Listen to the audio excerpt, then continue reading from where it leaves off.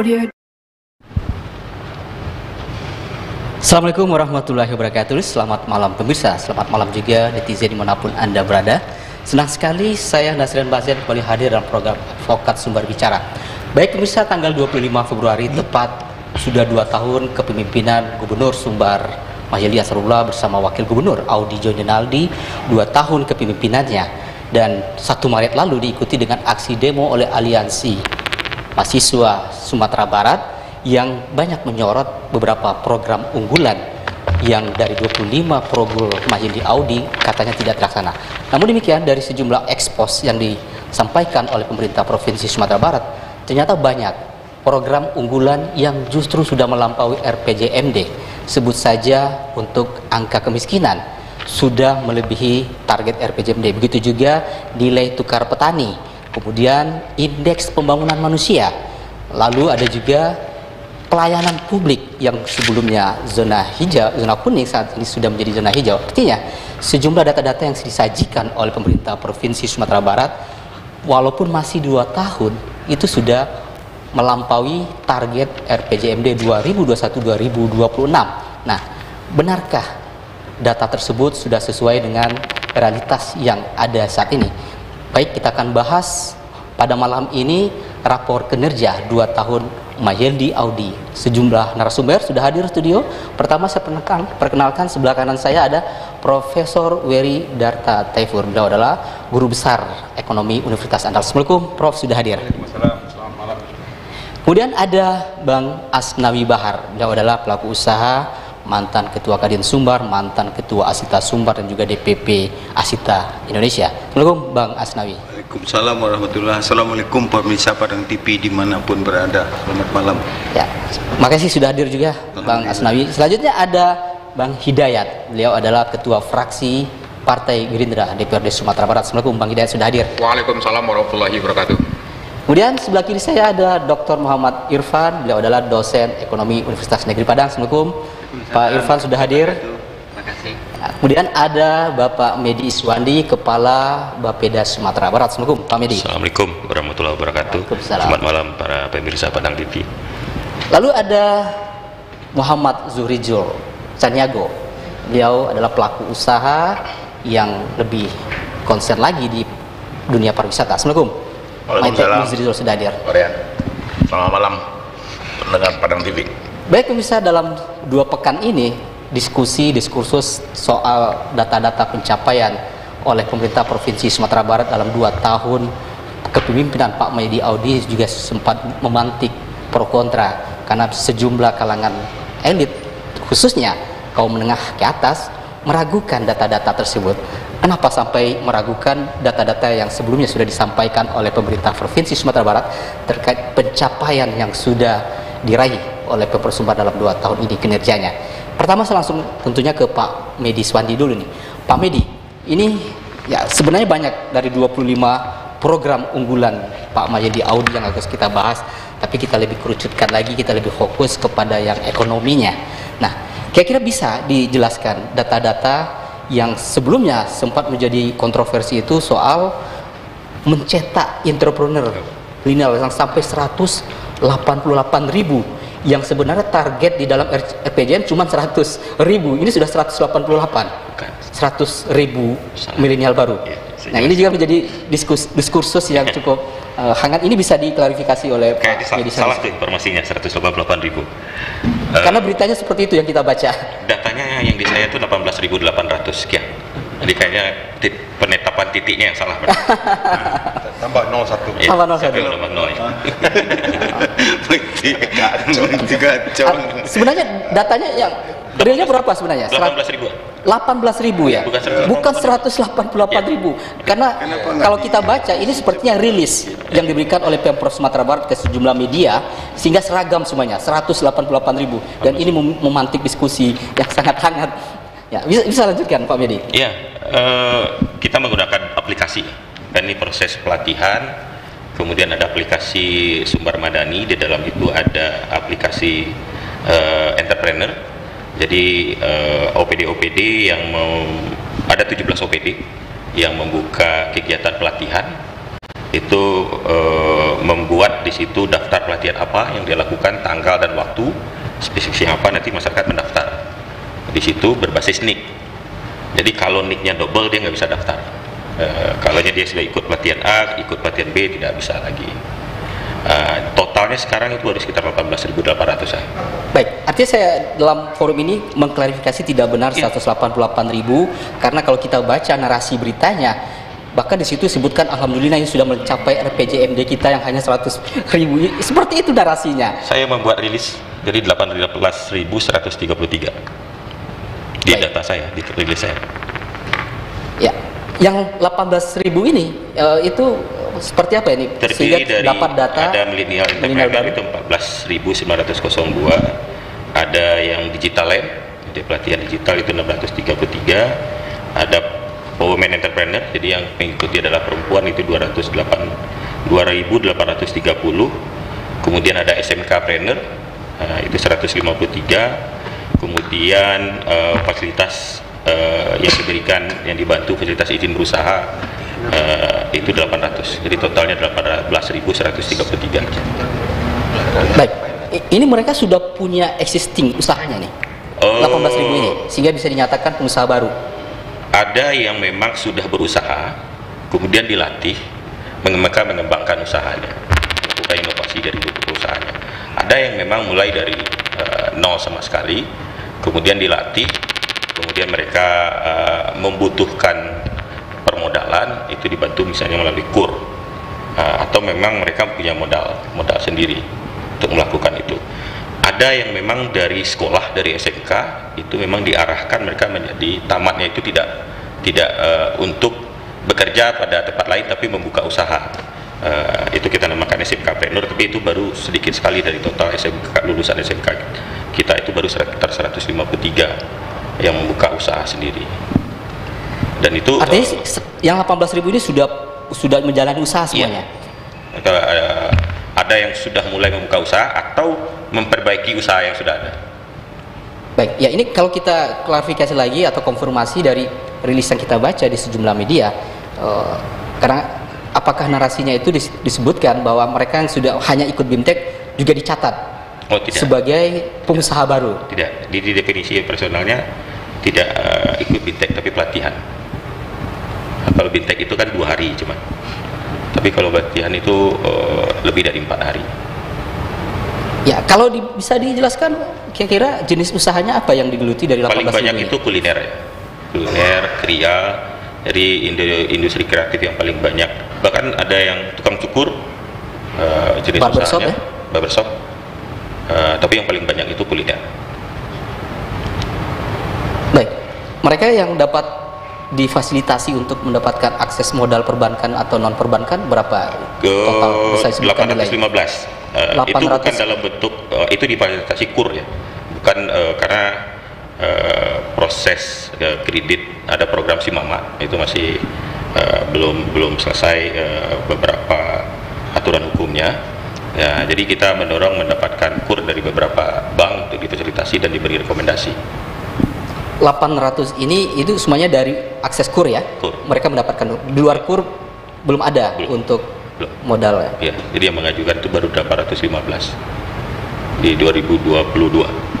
Baik, kalau untuk yang di bisnis digital seperti unicorn begitu ada juga? Oh, belum, belum. Tapi eh, mereka yang mulai belajar untuk bisa masuk ke e-commerce, yang lain-lain memasarkan produknya melalui eh, e-commerce, melalui digital itu kita juga latih. Itu totalnya 633 orang. Baik, setelah mereka mendapatkan pelatihan, lalu di kalau yang tidak punya modal difasilitasi untuk mendapatkan modal, programnya apakah sampai sejauh itu saja dari Eh, Pemprov Sumbar? Dari 17 OPD, mereka itu memantau, memantau perkembangannya, apakah membutuhkan eh, bimbingan, membutuhkan eh, apa eh, akses pasar yang lebih. Eh, tapi khusus untuk kuliner, eh, kita memang menghimbau eh, sampai ke pe- pemerintah kabupaten kota eh, itu memang menggunakan eh, UMKM UMKM yang baru tumbuh ini untuk eh, pasar kita untuk eh, tempat kita berbelanja. Untuk tim pendampingan, apakah ada juga yang eh, dilakukan untuk 18 Itu dilakukan di Dinas Koperasi UMKM. Eh, ada eh, pendampingan yang mereka lakukan eh, berkomunikasi dengan mereka tapi itu tidak tidak seluruhnya ya ada yang memang intens menanyakan tentang prospek-prospek eh, pemasaran ya pengembangan usahanya Nah, itu memang dipantau oleh dinas koperasi dan UMKM Baik, artinya milenial preneur lebih banyak ke kuliner. Kalau women preneurnya ke mana Pak Medi? sama hampir Kuliner juga. kuliner kuliner rata-rata hampir semuanya kuliner dan tidak banyak yang buka eh, fashion eh, kemudian barbershop eh, kemudian kuliner dan kriya Baik, kalau untuk kuliner itu skala usahanya seperti apa ini bisa digambarkan mikro Oh. usaha mikronya ini?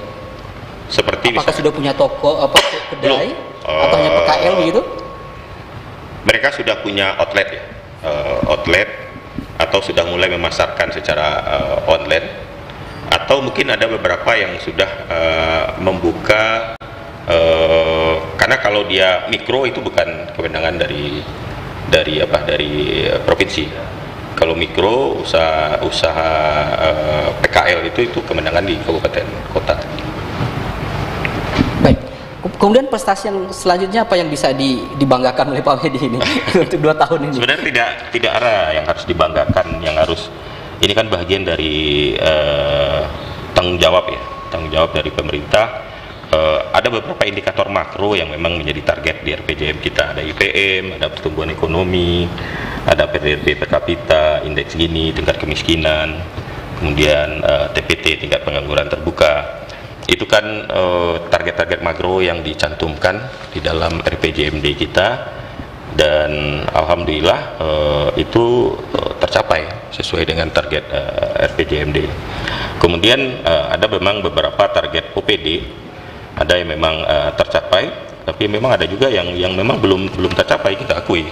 Seperti misalnya indeks infrastruktur itu kurang sekitar 0,2 poin capaian kita. Kemudian eh, target kita untuk menyelesaikan eh, stadion dan eh, gedung kebudayaan ini juga belum selesai karena ada beberapa rekomendasi dari LHP BPK yang memang harus kita tindak lanjuti terlebih dahulu untuk kita selesaikan sehingga mungkin baru kita bisa masuk ke tahap proses penganggarannya lagi. Baik. Untuk indeks pertumbuhan manusia itu memang sudah melampaui target RPJMD. Iya, karena target RPJMD eh, 72 dan tercapai 73. 72,74 capaian kita itu data BPS-nya 73,26 Dari 2022 atau 2021 berapa? 2021 meningkat. Meningkat. Dari 2021 ke 2022 meningkat. Berapa persen peningkatan dari Eh, 2021? satu? Setengah poin meningkat ya.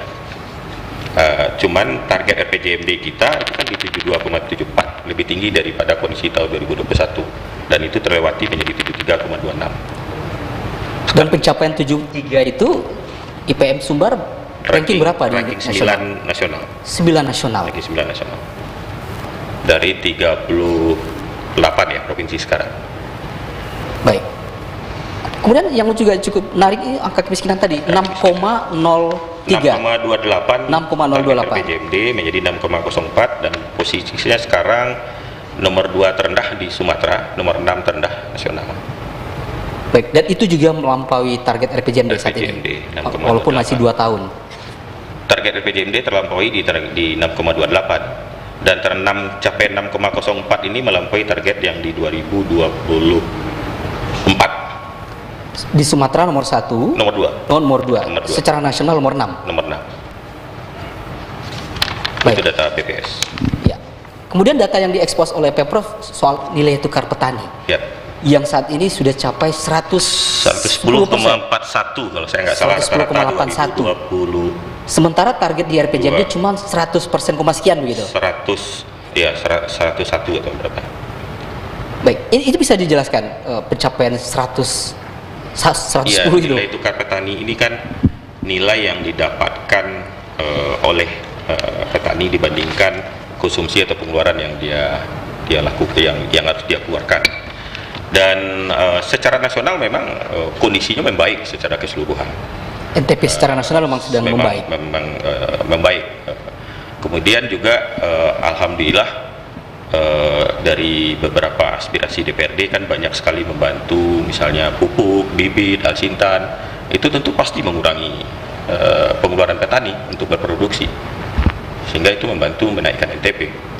Baik, ya ini juga menjadi cukup pertanyaan publik ketika inflasi katanya Ya. justru petani yang tidak merasakan harganya, yang mendapatkan kenikmatan soal inflasi itu pedagang. NT kalau gambaran NTP-nya naik, berarti kan petani itu yang mendapatkan.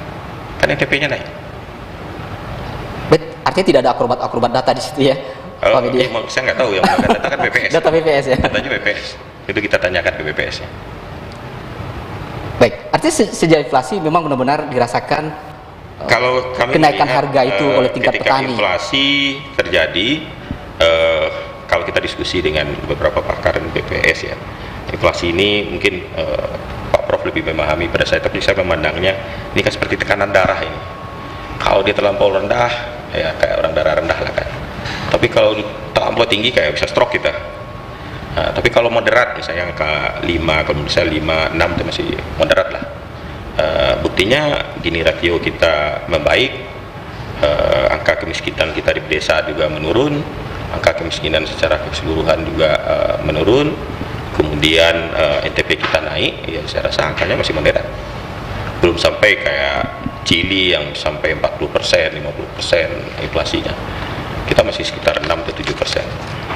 Baik, ya kira-kira dari sejumlah data yang dipaparkan yang mencapai melampaui target nasional bahkan target RPJMD, ah, namun secara eh, pertumbuhan ekonomi kita, kita justru di bawah rata-rata Ya, nasional. ya. Kita hanya 4,36 ya. Ya, karena Sementara kita nasional 5,3 sekian 5,39, persen.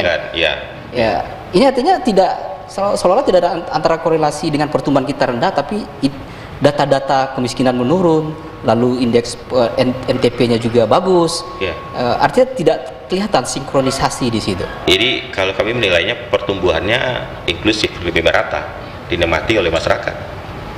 Eh, Maluku- Berkualitas berarti Maluku pertumbuhannya. itu kalau tidak salah lebih Maluku Utara ya kalau tidak salah lebih dari 20 persen. 15 persen. 15 persen. Tapi gini rasionya lebih dari eh, 5, 0,5.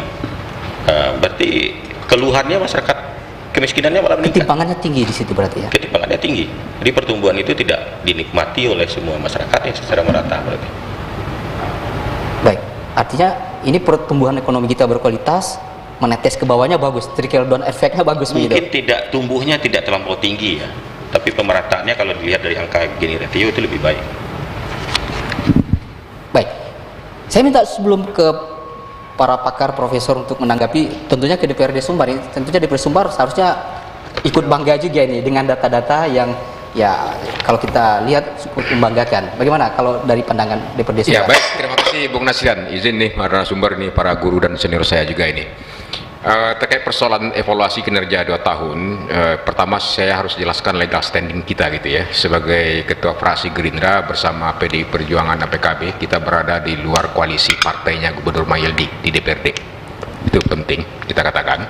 Artinya Terus- kalau di luar kolasi harus mengkritik begitu. Ya, kenapa demikian? Karena memang bukan. Jadi memang Undang-Undang 23 itu menyatakan eh, DPRD itu sebagai salah satu unsur penyelenggara pemerintahan daerah. Konsekuensinya apa pun juga yang mau dilakukan oleh gubernur harus dibahas dan sepakati dulu bersama DPRD. Namun domain eksekutifnya itu berbeda. Di mana eksekutif kontrol di gubernur termasuk juga fungsi pengawasan program dan kegiatan yang bisa menjadi kewenangan DPRD. Nah, namun yang menarik yang ingin saya katakan Bung Nasrian, berangkat dari expos dan eh, yang data yang disampaikan oleh Gubernur Sumatera Barat, saya pikir ada beberapa hal yang mungkin ditutupi dan yang mesti dikoreksi, saya pikir begitu. Yang pertama itu adalah persoalan pertumbuhan ekonomi Sumatera Barat. Ini kan pertumbuhan ekonomi ini menjadi barometer apakah ekonomi di Sumatera Barat, apakah kinerja investasi, kinerja ekspor impor, termasuk juga belanja publik dan belanja pemerintah yang mengkapitalisasi sehingga ada angka pertumbuhan ekonomi tersebut. Saya ingin katakan adalah pada 2021 itu pertumbuhan ekonomi Sumbar di angka 3,29 persen, nasional 3,69 persen. Pada 2022 4,36 persen pertumbuhan ekonomi Sumatera Barat, sementara nasional 5,31 persen. Nah, berkenaan dengan target RPJMD benar dalam konteks seperti itu. Persoalannya dimuncul adalah target pertumbuhan ekonomi RPJMD 2021 sampai 2026 itu justru dipatok rendah.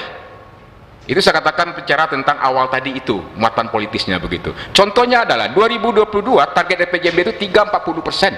2023 4,57 persen. Di 2022 saja nasional 5,31 persen. Saya pikir Prof bisa menjelaskan satu digit pertumbuhan ekonomi itu akan membuka lapangan pekerjaan sekian orang, menurunkan angka kemiskinan sekian, ke seperti itu kalkulasinya. Itu dulu. Jadi ada problem di perencanaan awal. Targetnya betul-betul rendah. Lalu saja cara capai kan? Dalam konteks seperti itu. Nah, terkait persoalan Tahan di situ. Itu waktu saat penetapan RPJMD, DPRD apakah tidak mempersoalkan waktu itu? Oh. Kenapa target terlalu rendah? Saya coba flashback ya. Saya ingin katakan Gerindra, PD Perjuangan dan PKB merupakan koalisi di luar partainya Gubernur Mahyildi, oke? Nah, dalam proses pembahasan itu alot sekali. Mungkin izin nih Pak Medi kelaku Bapeda ketika itu beliau sedang tidak sehat ya, mungkin masih kopi-kopinya ketika itu ya. Di tahun ini kan Perda nomor 6 2021. Kita bahas di ujung-ujung 2020 ya mungkin. Ya 2021 ini Perda ditetapkan.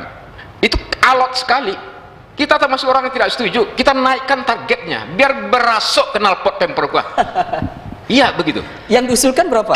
Waktu itu oleh pihak oposisi ini setidaknya? kan memang dari laporan dari dokumen yang diberikan oleh pemprov kan angkanya seperti itu gitu yang ketua pembahasannya itu Pak Anca Nusirwanca dari PKS wakil ketuanya Zulkarnain Said dari Golkar. Kita wall out Pak. Wall out itu adalah tidak ada lagi dialogis dan adu argumentasi yang jalan begitu itu RPJMD saya katakan nanti di solusinya adalah kalau betul-betul ingin ada pertumbuhan yang lebih kuat revisi Perda nomor 6 2021 tentang RPJMD Provinsi Sumatera Barat tahun 2021 2026 saya kembalikan nanti apakah menjawab rapornya bagaimana begitu Bung Nasrian izin Terakhir, terakhir nanti kasih nilai rapornya. Ya, terakhir saya tidak akan ya, struktur PDRB kita menurut lapangan usaha itu adalah di sektor pertanian masih mendominasi ya Pak eh, Pak Medi. Iya. 21,20 persen dari data seperti itu perdagangan termasuk juga transportasi. Nah, khusus sektor pertanian ini harus diingat. Kontribusi sektor pertanian pada PDRB Provinsi Sumatera Barat trennya turun. Bung Nasrian. 2018 kontribusi PDRB-nya 23,17 persen. 19 turun 22,15 persen, 2020 turun menjadi eh, naik ya 22,36, 2021 turun lagi 21,9 dan 2022 21,20 persen. Tren sektor pertanian di PDRB kita itu trennya turun. Ini Padahal anggaran Data BPS ya? Iya, betul. Ini ya data BPS yang kita coba. Ini target apa namanya khusus sektor pertanian ini BI malahan juga kemarin di expose juga oleh Bank Indonesia artinya apa anggaran yang 10 persen 650 miliar pada 2020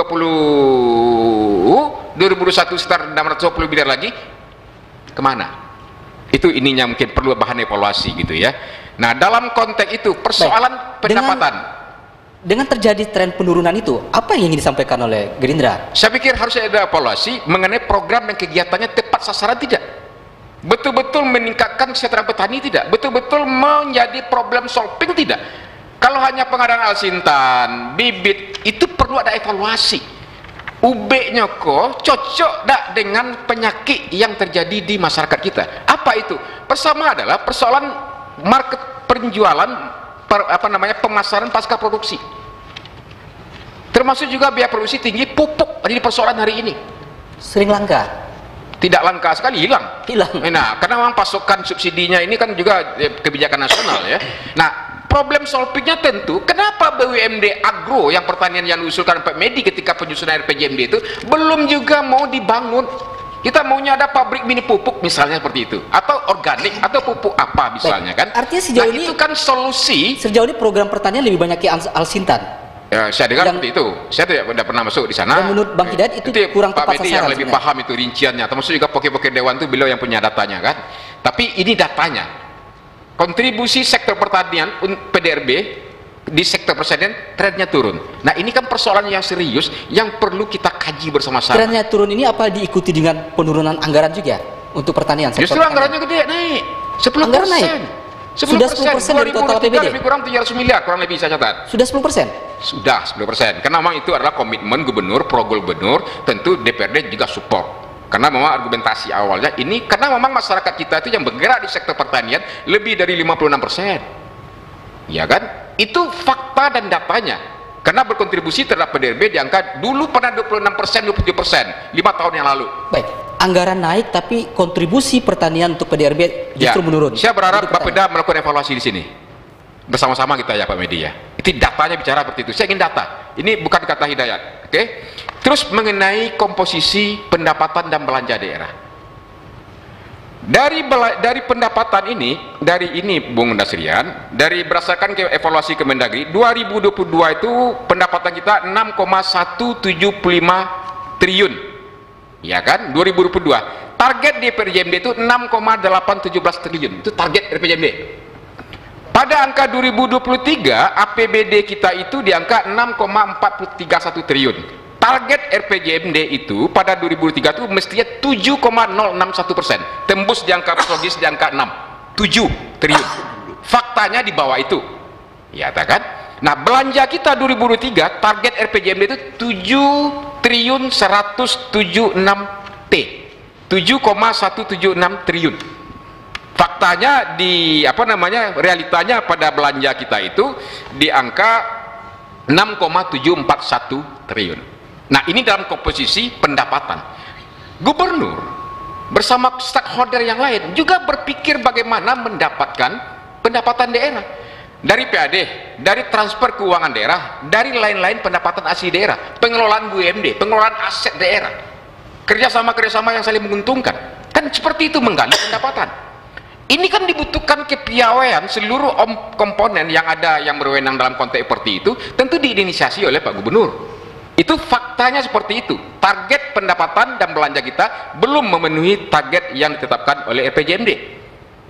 Terus NTP target RPJMD kita memang 100,99 persen. Realisasi 2022 itu lebih 110,41 persen. Saya pikir ini target yang masih rendah. Tapi saya pikir ini satu hal ta- tadi dalam konteks yang seperti itu. Nah, yang ingin saya katakan, Bung Nasrian, belum lagi bicara tentang kepemerintahan.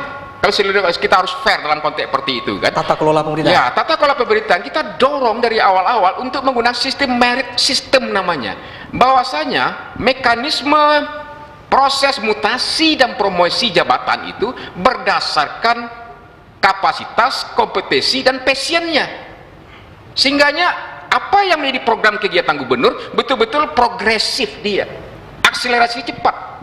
Faktanya itu belum. Baik, Ada yang alumni pertanian menjadi untuk tata kelola, Bang kepala taman budaya, Untuk misalnya tata- seperti itu kan. Tata kelola Ombudsman sudah memberikan zona hijau. Ya, saya- hal peningkatan pelayanan It- publik. Itu beda lagi.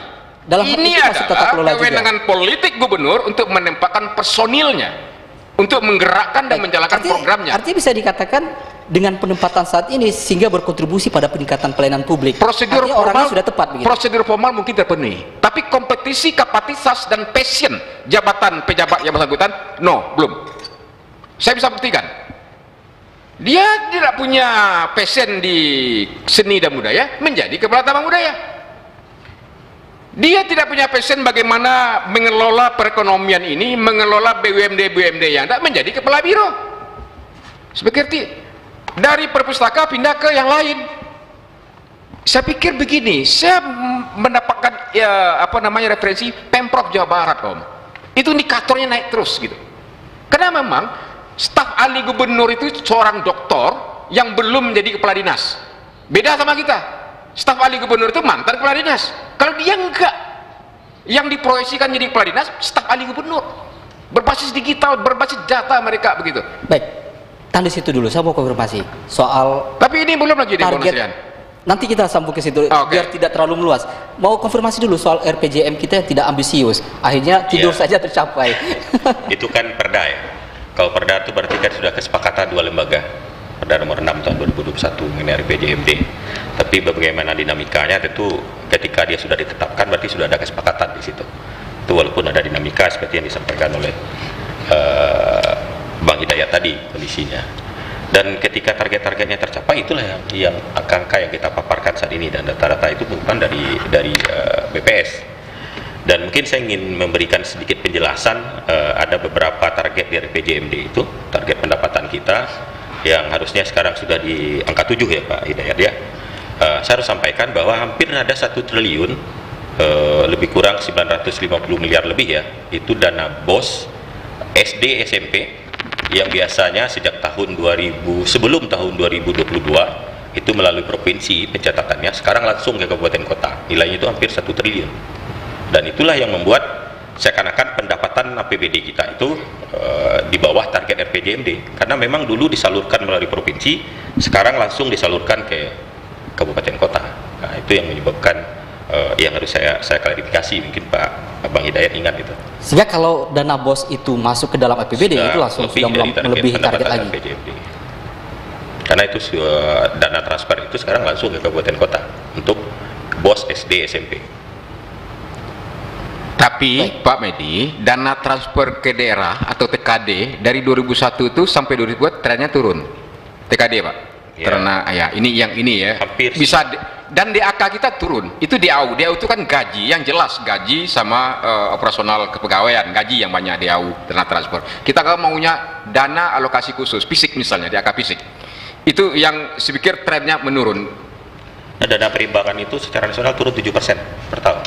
Sekarang dengan adanya PMK, kami sebutnya PMK Wiro Sablek, PMK 212, DAU rasa DAK. Eh, DAU yang diperuntukkan. Nah, saya rasa ini baik juga mungkin untuk menekan daerah karena tiga tahun ke depan itu dana belanja pegawai kita itu hanya diperkenankan 30 Nah, mungkin nanti DAU itu hanya dikirim 30% untuk gaji. Kalau nggak cukup, tutup dengan PAD. Sisanya sudah diatur peruntukan untuk apa saja oleh pemerintah. Dan saat ini komposisi untuk belanja rutin kita masih 60%. Bukan.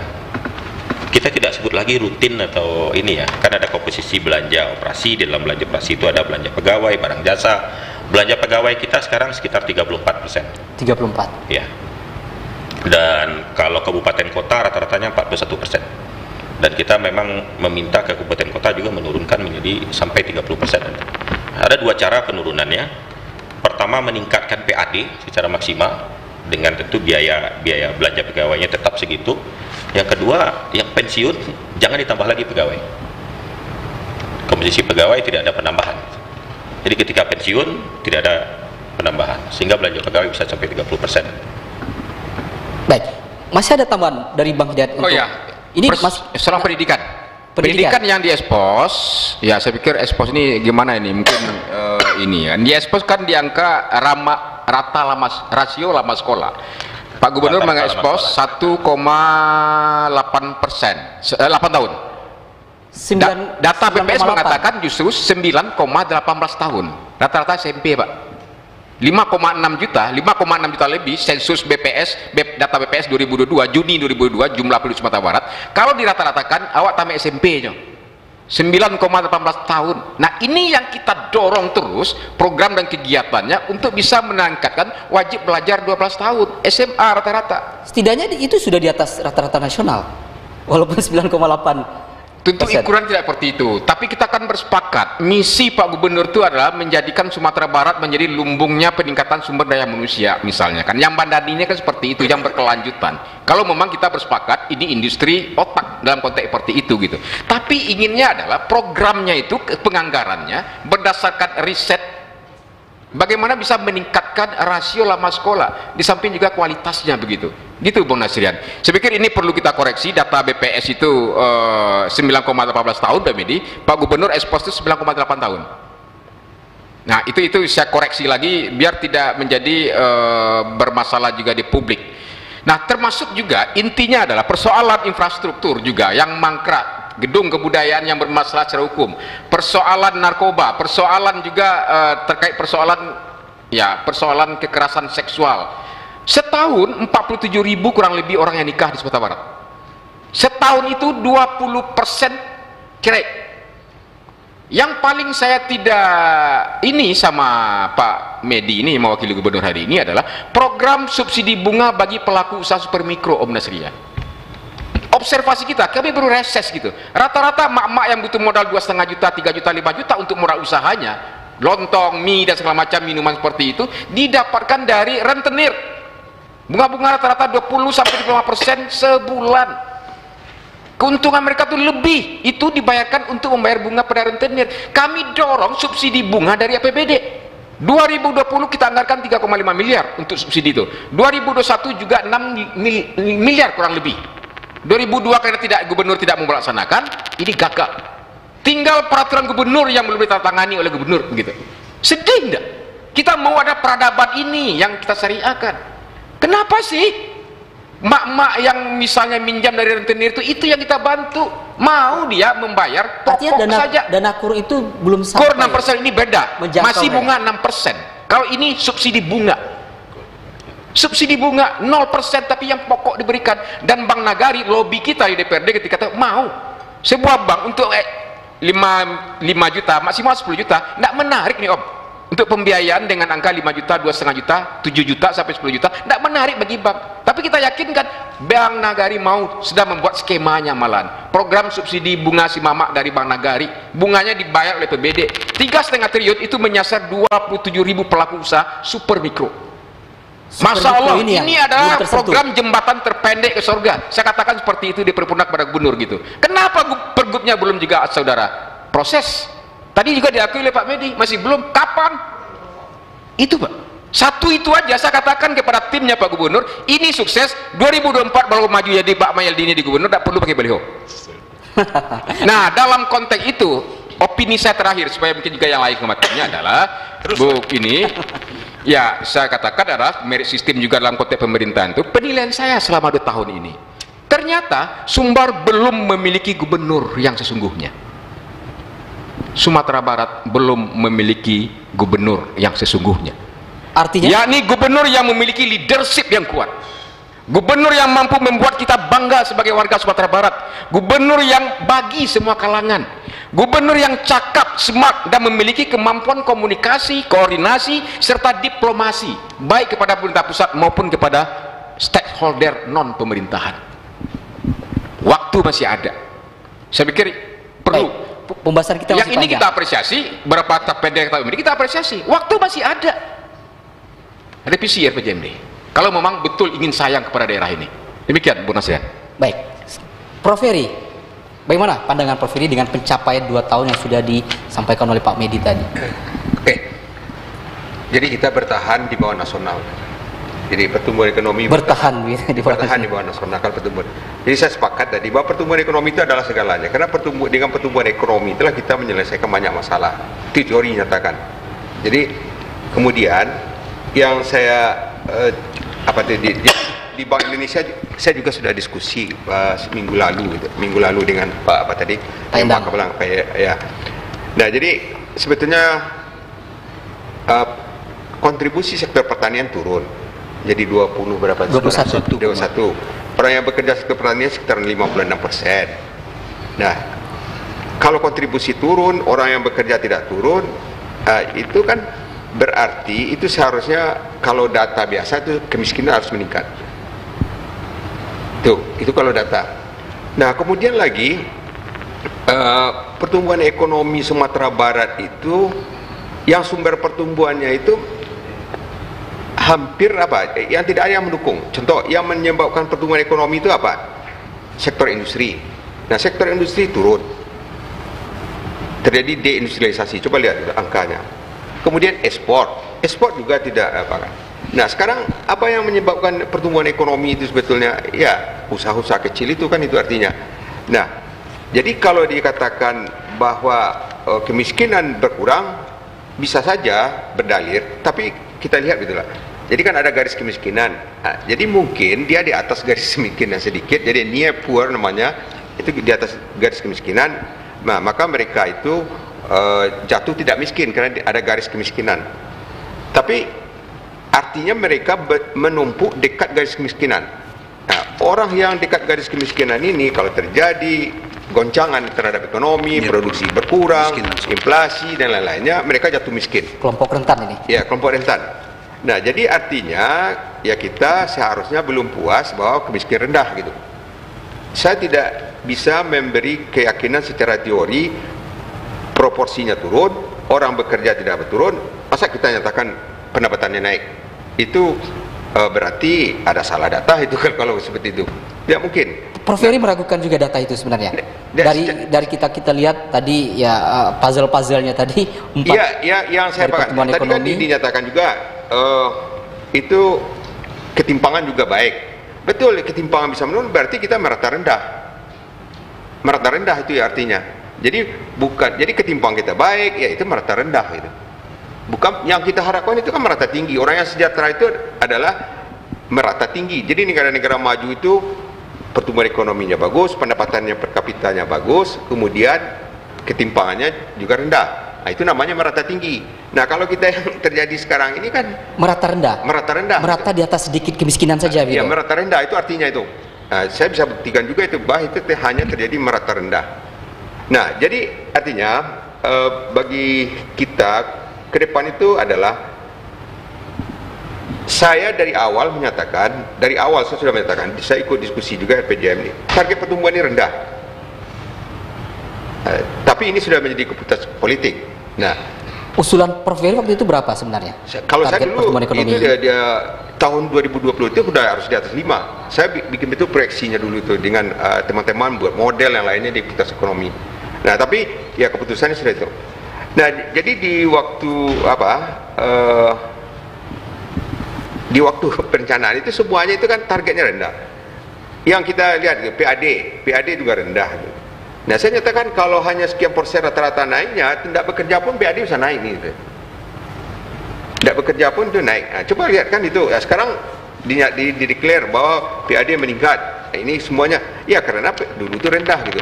Saya tanya betul dengan itu. Mana hitungan potensinya? Waktu itu kan tidak bisa juga dilihatkan waktu itu.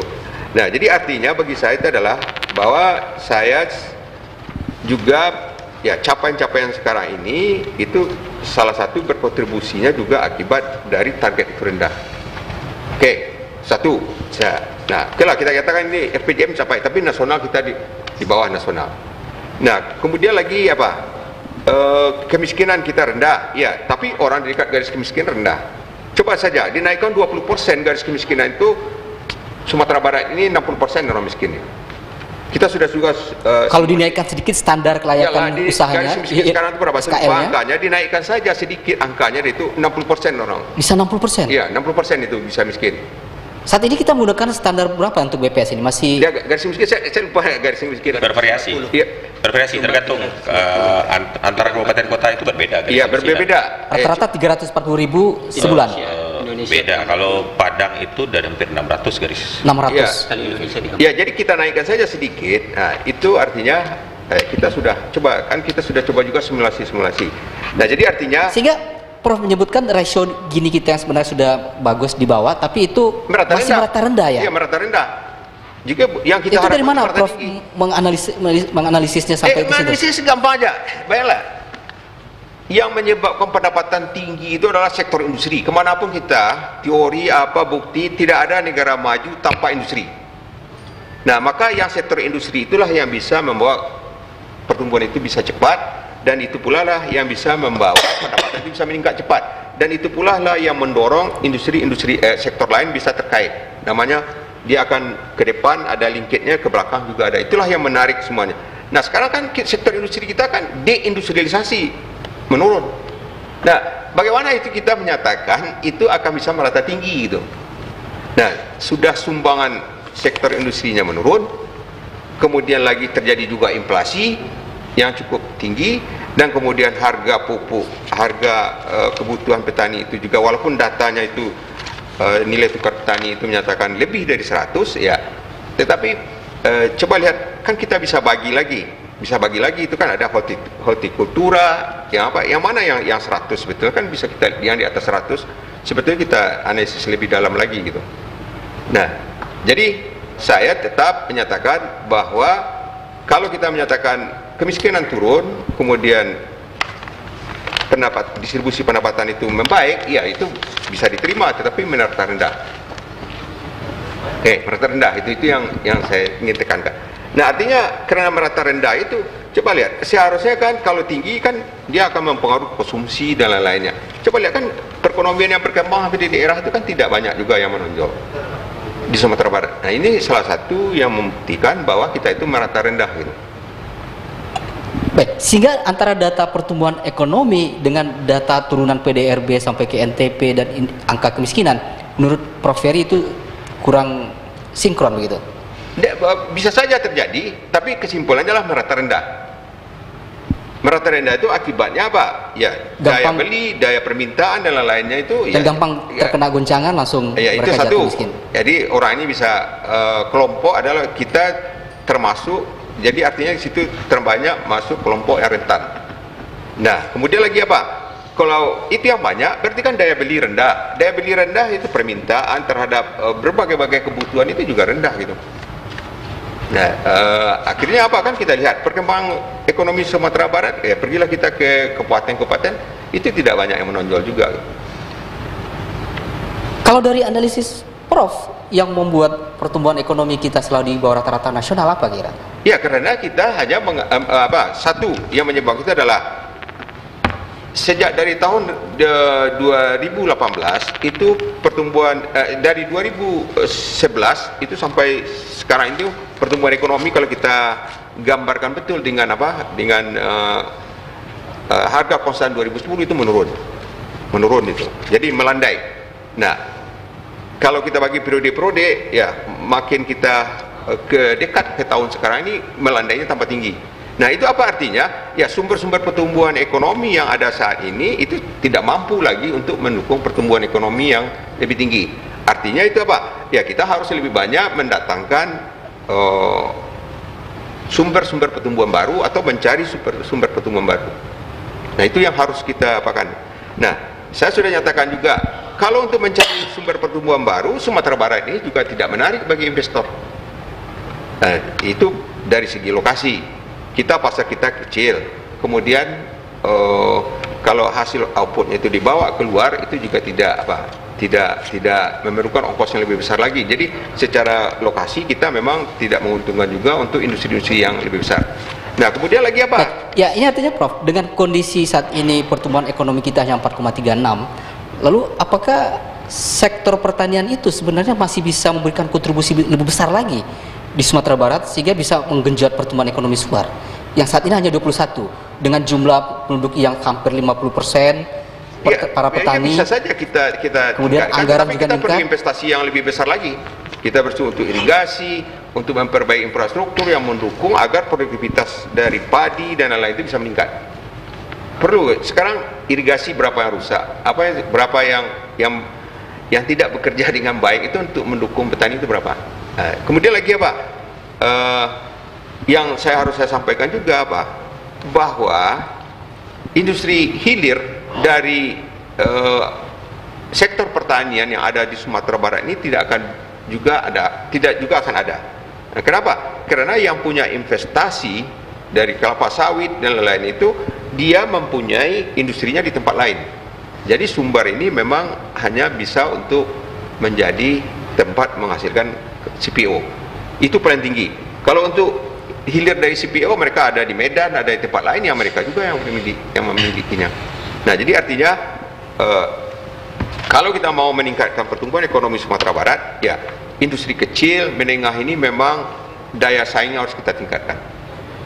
Menurut saya itu saja. Jadi tanpa ini karena sektor uh, pertanian sudah mulai menurun nah kita uh, kemudian kita harapkan juga dari investor juga tidak apa kan investasi juga tidak banyak datang. Nah jadi artinya apa? Yang ada saat ini adalah yang mungkin berkompetisi itu adalah sektor menengah ini apa sektor kecil menengah ini. Nah itulah yang harus kita tingkatkan dengan daya saingnya apakah itu melalui digitalisasi produk, uh, produk itu agar daya saingnya meningkat itu. Baik, ya ini kalau kita lihat data PDRB dari lapangan usaha pertanian 21, perdagangan 16 persen, transportasi dan pergudangan 10 persen, konstruksi 8,54 persen. Artinya ini ini kontribusinya masih kecil menurut Prof. Ferry sebenarnya. Kontribusi PDRB menurut lapangan usaha. Tidak, kalau yang itu itu yang disebut dengan konstruksi dan lain-lain itu itu tidak terlalu perlu betul kita perhatikan.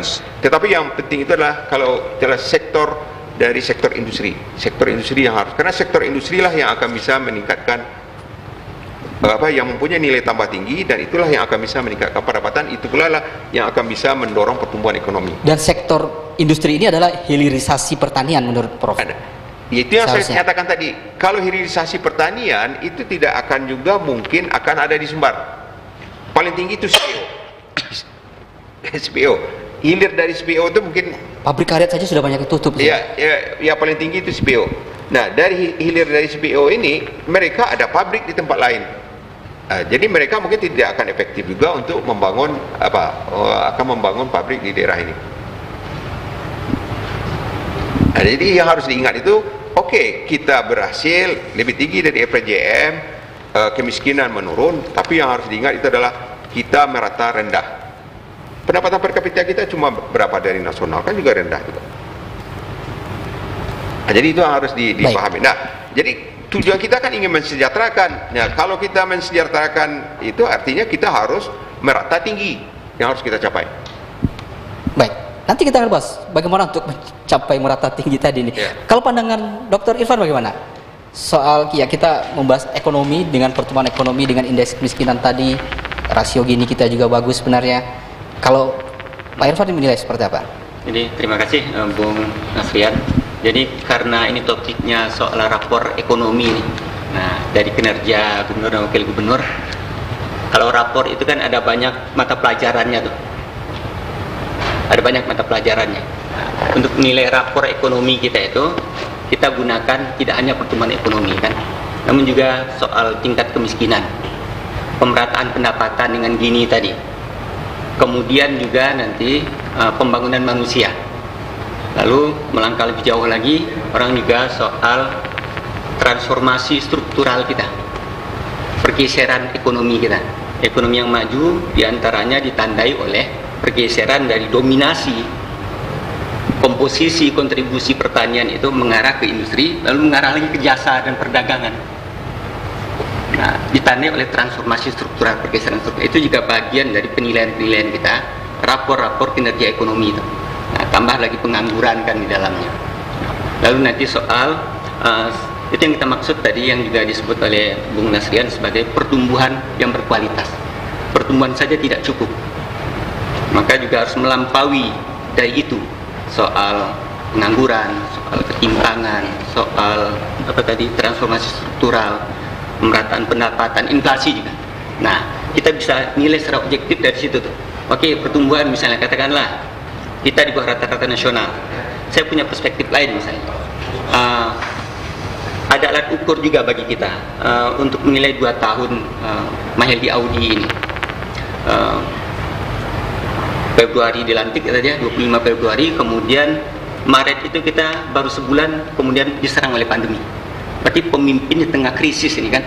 Maka menilainya adalah bagaimana kondisi sebelum berarti 2019 ya? 2019 nah, kondisinya. Apakah telah pulih selama 2 tahun ini? Kembali ke kondisi sebelum krisis misalnya. Oke pertumbuhan ekonomi. Sebelum krisis 5, sekian jadi 4, berapa? Berapa capaiannya belum pulih kan? Tapi kan kita bisa nilai tuh capaiannya adalah 4,36 per 5,2 atau berapa tuh 2019 nah, kalau kita bisa nilai rapor lah. Nah, A minus atau B plus itu kan. Artinya kita Ya. sudah sampai ke Nah, sebelum misalkan pandemi sebetulnya. untuk rapor pertumbuhan ekonomi tapi untuk rapor kemiskinan. Untuk rapor pembangunan manusia. Nah, datanya kan mengungkapkan kepada kita. Kita walaupun uh, di tengah pandemi ya penurunan kemiskinan tapi sekarang turun lagi kan walaupun sempat naik sedikit nah tapi turun lagi. Nah itu juga membuktikan bahwa Lebih rendah dari pertumbuhan kita 2019. lebih rendah daripada tahun 2019 malah. Nah itu kan berarti kita bisa katakan lebih rendah daripada kondisi 2019 bahwa kita bisa meredam dampak krisis itu terhadap kemiskinan kita. Nah efeknya kecil. Namun ketika sudah pulih krisis mulai mereda kita bisa turunkan lebih cepat. Nah, kalau bisa kita raporkan, ini juga pada bagian mata pelajaran kemiskinan. ini kan A ini, karena kondisinya 2019 perbandingan kita. Nah, tapi mungkin nanti soal apa lagi pemerataan, oke A, tapi juga catatan kita misalnya adalah inflasi kita nomor dua tertinggi tinggi di Sumatera kan. Oke, itu mungkin B minus atau apa gitu ya. Nah, itu catatan kita. Nah, udah kalau kita mau apa? Kalau mata pelajaran kan ada bobot-bobotnya juga tuh. Pertumbuhan ekonomi itu dalam cara pandang eh, pengukuran pembangunan itu yang berkualitas itu adalah bobotnya kecil loh. Kalau SKS-nya dua. Lebih utama kita mementingkan soal pemerataan, soal penanggulangan kemiskinan. Bobot SKS-nya tiga, nilai A itu empat poinnya SKS-nya, kalinya tiga tuh dibandingkan pertumbuhan. Menurut saya begitu, Bro. Tidak lah, itu tidak Jadi bisa. udah nilai aja tuh totalnya berapa. Kita sepakati saja indikator-indikator mata pelajaran mata pelajaran ekonomi. Soal pengangguran, soal transformasi struktural. Nah, saya ingin juga apa hmm, menanggapi bahwa soal soal misalnya tadi pertanian ya kemudian juga soal industri dan perdagangan. Kita harus bedakan nih uh, Pak Dayat dan uh, Prof mohon maaf. Nah uh, berbeda antara distribusi dengan pertumbuhan sektoral lapangan usaha. Jika kontribusi pertanian menurun artinya ada ya kan semuanya mesti 100% distribusi dan kontribusi kan semua nilai Iya, 100% maka ketika kontribusi menurun berarti ada sektor lain yang meningkat apa sektor yang meningkat di data berita resmi statistik Perdagangan. ya yang meningkat pesat itu adalah perdagangan besar dan eceran dari 15,8 menjadi 16,5 distribusinya nah itu meningkat mengkompensasi penurunan dari Pertanian. pertanian. Kemudian apa lagi nih? Jasa. Transportasi dan perdagangan dari 10,29 menjadi 10,88. Kontribusinya dalam pembentukan struktur PDRB kita. Artinya apa? Bahwa terjadi proses transformasi pergeseran struktur ekonomi kita dari dominan di sektor primer ke sektor Ya, tapi sektor jasa, sektor perdagangan itu bukan prioritasnya tinggi. Itu yang harus kita ingat, Pak. Yang prioritasnya tinggi itulah industri. Nah, sekarang sektor jasa itu kalau dia berdagang kaki lima, nah, bayangkan berapa jumlah sektor informal di Sumatera Barat. Nah, jadi eh, kita harus ingat- juga data seperti itu. Oke. Ah, jadi tidak mudah juga. Tren kita kan untuk genjot industri. Secara kultural kita kan juga mesti paham. Tidak mudah memang untuk menarik investor dalam skala besar ya di Sumatera Barat Ya, ini. sepakat kita. Saya sudah menyatakan Ada seperti itu juga tadi. kultural juga kan Ya. soal nanti ya tidak hanya terkait soal perizinan dan sebagainya tapi kultur masyarakat kita kan yang kita ini kan biasa mental kita kan relatif nggak mau tuh jadi buruh jadi karyawan dan sebagainya kita lebih mau jadi wirausahawan nah ini inilah kondisi kita bahwa bahwa standar-standar soal apa yang dimaksud dengan industrialisasi, apa yang dimaksud dengan kemajuan itu mungkin berbeda antara antara apa? Antara masyarakat misalnya di Eropa sana dengan apa yang kemudian tumbuh sebagai kesadaran interpretasi kita kemudian Baik, pemaknaan artinya kita menurut Pak Irfan ada terjadi pergeseran yang kita sebelumnya ke agraris Iya. yang bisa dulu kontribusinya untuk PDRB Iya, pertanian 26 ya. bisa sampai 30% dulu. Ah. Sekarang sudah mulai bergeser ke Kedua sektor satu. perdagangan, Nah, kedua ke satu sektor kan. jasa. Iya. Kedua satu kan dari 30 atau Sektor 26 jasa kita tadi, tumbuh sekarang 11,88. 21. Maka Paling tinggi. perdagangan kemudian transportasi dan pergudangan itu mula-mula kecil kurang dari Harus 10 problem. sekarang sudah 16 kan kemudian sudah menjadi 10 nah kan transformasi struktural itu kan dari sektor primer sekunder tersier. Primer kan pertanian sekunder kan industri tersier itu perdagangan dan jasa. Nah sekarang kalau kita bandingkan perdagangan dan jasa itu berapa 16,5 tambah dengan transportasi 10 berarti 20 berapa itu 26 3 23 tambah dengan informasi dan ko- telekomunikasi Konstruksi itu sudah juga. 30-an persen 5 itu Pak, konstruksi satu, Iya. 67,18 persen di lima Konstruksi. Ya, Pak. komponen ini. oke kadang Jadi- Oke, jadi artinya terjadi pergeseran iya ke sektor jasa, tapi sektor jasa yang tidak mempunyai produktivitas tinggi, yang tidak akan mendorong pendapatan orang itu tinggi. Nah, coba lihat berapa jumlah kita di sektor informal. Betul, terjadi sektor. Jadi kalau di negara maju itu atau di negara lain itu ya sektor industrinya tinggi, ba- kemudian baru sektor jasa tinggi. Kita sektor industri tidak maju, sektor jasa yang tinggi. Kan itu yang terjadi sekarang ini. Nah, inilah yang tidak membawa pertumbuhan ekonomi tinggi. Itu harus diakui Pak, tidak bisa dibantah Ya. lagi itu Pak. Nah. Ini, ini tegasnya kalau Profesor Wim mengatakan dengan kita hanya sektor pergudangan atau perdagangan dan jasa itu hanya tingginya juga tidak signifikan, ini juga pertumbuhannya semu sepertinya. Tidak, apa yang diciptakan di lapangan pekerjaan? Buruh cuma itu. Eh, Sektor dia- UMKM I- setidaknya mereka di iya, perdagangan dia tidak banyak menciptakan kerjaan. Jadi artinya sektor yang menciptakan lapangan pekerjaan banyak itu sektor industri. Sektor yang bergerak dalam menghasilkan sektor real. Itu yang bisa menciptakan lapangan pekerjaan. Sektor jasa tidak. Apalagi dengan teknologi yang tinggi sekarang. Sektor perdagangan bagaimana? Itu apakah juga sebagai penyerap Iya, lapangan kalau perdagangan itu cuma yang tinggi untuk UMKM di Iya, situ? kita- yang, yang padat modal bro Iya kita, yang pada modal berapa aja jumlah UMKM yang besar yang naik dari UMKM eh, menengah menjadi besar itu berapa Sumbar? Coba hitung datanya. Ah, coba berapa Pak Medi? Ya, kalau saya pandangnya gini, Prof. ketika pertumbuhannya memang rendah tapi pemerataan terjadi kemudian terjadi pengurangan angka kemiskinan terjadi pengurangan angka pengangguran pertumbuhan itu inklusif Iya. dia tidak semu itu. gitu Iya betul, tapi itu Karena di- pertumbuhan yang dirasakan oleh merata rendah, kita. merata rendah, merata rendah. itu jauh lebih baik dari merat tinggi tapi timpang Nah, Lebih baik yang untuk pemerataan di sektor perdagangan Kita merata ketimbang tinggi.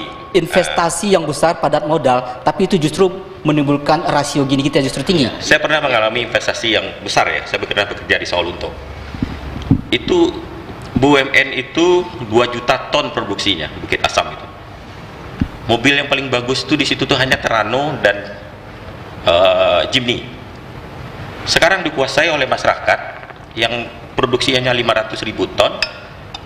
Ada Alphard, ada Land Cruiser, semua orang bekerja, tingkat penganggurannya tinggi di Salunto, dan daerah yang paling rendah kemiskinan di Indonesia. Itu baik investasi dari luar itu sebanyak-banyaknya, atau memang investasinya kecil tapi itu dinikmati oleh orang lokal. Saya rasa lebih baik investasinya kecil tapi dinikmati oleh orang lokal daripada semuanya disedot sumber daya ini, kemudian pendapatannya dibawa keluar semua. Ini yang disebut tadi pertumbuhan berkualitas kita sebenarnya. Kita Kalau pandangan berkualitas. Bang Asnawi bagaimana? Eh, terima kasih. Pertama, eh, saya setuju bahwa target kita rendah. Oleh sebab itu mungkin ada revisi-revisi yang Yang kedua adalah Pak Medi dan kawan-kawan harus evaluasi target itu. Yang ketiga adalah saya sedikit Dekatkan lagi tentang, menyinggung tentang pertumbuhan ekonomi. Bahwa salah satu unsurnya adalah konsumsi masyarakat. Kalau pendapatan tidak merata, bagaimana konsumsi akan mempengaruhi PE? Tidak mungkin. Jadi Pak Medi itu anomali gitu. Pendapatan merata Pak? Ya, pendapatan Gini merata. kita rendah, berarti Oke, pendapatannya merata. Pendapatan merata, tetapi kan PE kita rendah, Pak. Artinya apa? Pendapatan itu memang merata tapi rendah, tidak berpengaruh ke PE, PE kita rendah. Itu yang pertama. Yang kedua adalah ketika membandingkan 2019 dengan 2022, daerah lain bagaimana? Kan sama. Naik tinggi di atas nasional dan mendekati. Oleh sebab itu menurut saya pertama kita mengapresiasi apa yang telah dilakukan oleh kin- provinsi. Pak Mayaldi dan Pak eh, eh, Wakil Gubernur itu sudah berupaya. Tetapi sekarang kan ada pergeseran-pergeseran seperti yang disampaikan Pak Ipan bahwa ada sektor-sektor lain di luar pertanian. So, progul utama itu adalah pertanian, 10% anggarannya. Jadi kalau kita bicara jasa, progul dirubah. Tidak lagi bicara pertanian. Oleh Makanya tadi Bang Asnawi juga sepakat dengan anggaran naik 10% itu pertanian tapi kontribusinya justru rendah. Ada yang salah di situ. ada yang salah di situ. Pak Medi harus evaluasi harus. Kenapa? Ketika anggaran 10% bangsa pasar pertanian menurun, ini anomali, Pak. Dan yang terakhir adalah laporan BI tadi sampaikan Pak Hidayat bahwa triwulan keempat itu kita turun, Pak. Kita berada di nomor 9. Ada beberapa poin yang penting. Tetapi dari 10 provinsi kita nomor 9. Artinya apa? Bahwa program-program apalagi anggaran terakhir di triwulan 4 itu dihabiskan Nomor 9 itu nasional, cepat. Pak, bukan di Sumatera. Kita nomor 2 Sebelah di Sumatera. ya. Apa? Nah, Kemiskinan. itu Kemiskinan. BI salah itu. Yang mana nih? PDRB maksudnya Pak. PDRB. Bukan kemiskinan. PDRB itu kita nomor Bukan 9 di seluruhnya. Artinya apa? Kan dia sinkron dengan PE itu. Oleh sebab itu menurut saya bahwa progul harus tetap dipertahankan atau diganti. Ini kita harus sepakat itu. Kita bahwa- nomor 9 PDRB ini terendah atau tertinggi nih? Kita kita lupa ini. Kita punya tujuh visi misi. Tiga berhubungan ekonomi. Tiga itu pertanian, UMKM, Pariwisata. perdagangan, pariwisata. Sektor strategis kita sebut. Iya, Jadi oke. kenapa kita bicaranya hanya pertanian saja? Iya. Ada UMKM, ada perdagangan di situ kita bicaranya. Oke. Kita bicara pariwisata di situ. Cuman mungkin di kepikiran kita karena memang ada bahasa progul itu 10% untuk uh, pertanian. Karena nomor satu adalah Karena memang pertanian. anggaran pertanian itu rendah sekali. Oke, uh, jadi dulunya. selanjutnya- Tapi progul itu ada untuk ekonomi ada ada Itu ada salah tiga sektor strategis. bahwa pertumbuhan ekonomi tidak didukung sepenuhnya oleh Progul. Artinya dengan anggaran yang besar tidak mendorong pendapatan. Artinya bahwa konsumsi masyarakat dengan pemerataan yang disampaikan Pak Medi itu tidak berpengaruh kepada pertumbuhan ekonomi. Karena konsumsi masyarakat itu selain pengangguran, ekspor, impor, investasi itu faktor penting dalam pertumbuhan ekonomi. Nggak bisa diabaikan. Nah, ketika bergeser ke sektor eh, se- sektor-sektor yang lain seperti jasa tadi seperti disebutkan Pak itu tidak menciptakan lapangan pekerjaan, bagaimana pertumbuhan eh, angka peng- pengurangan pekerjaan ini terjadi gitu. Angka kemiskinan kita dikatakan turun, tapi ternyata Enam kan tidak berpengaruh. enam terendah nasional ini kemiskinan kita Bang Nah, itu dia. Jadi persoalan hari ini adalah ketika angka kemiskinan kita turun, tapi pertumbuhan ekonomi kita tidak naik. Pengangguran kita turun, pertumbuhan juga tidak naik. Kan anomali. Saya usulkan ke Pak Medi agar dievaluasi. Sehingga dengan demikian terlihat apa-apa kelemahan. Dari anomali itu Bang Asnawi juga meragukan data itu jadinya. Pertama data saya ragukan BPS, kita perlu harus hadirkan BPS. Yang kedua adalah target yang rendah. Ya, saya mensinyalir bahwa misalnya PAD tadi sudah singgung rendah, tidur tidur pun dapat. Lalu juga pertumbuhan ekonomi kita kompar kan kita memang rendah di bawah nasional. Sebelumnya kita tinggi. PAD kita Lihat, 47,7 persen dari total APBD. Pak. Iya betul, tetapi secara nasional kan kita rendah. Oleh sebab itu kita berharap bahwa evaluasi terus dilakukan. Perda nomor 6 mungkin juga perlu dievaluasi. RPJMN juga harus dievaluasi agar apa-apa data yang ada ini itu bisa valid mendukung pertumbuhan ekonomi. Pantauan kita bahwa daerah sesuatu itu kan maju kan pertumbuhan ekonomi. Lalu peningkatan PDRB. Kalau PDRB kita rendah, sektor-sektor utama itu menurun. Lalu dari mana sumbernya? Memang ada faktor-faktor yang tadi disampaikan bahwa Dan Bang Asnawi juga sepakat bahwa untuk mempercepat pertumbuhan ekonomi kita, sektor investasi untuk industri ini yang sebenarnya harus Loh. kita genjot. gini kalau investor lihat memang tapi investasi kan sumber tidak menarik. Ya kan kan kurang menarik karena memang kita masih banyak persoalan-persoalan seperti soal tol. Penelitian UI mengatakan bahwa Baik, artinya dengan logika tadi dengan mendatangkan investor susah, industri itu juga susah untuk membangun pabrik atau hilirisasi pertanian. Bukankah sebaiknya dengan kita menggenjot perdagangan akan lebih itu kan merata berarti sektor jasa, sektor untuk jasa kan penyerapan presentasinya rendah.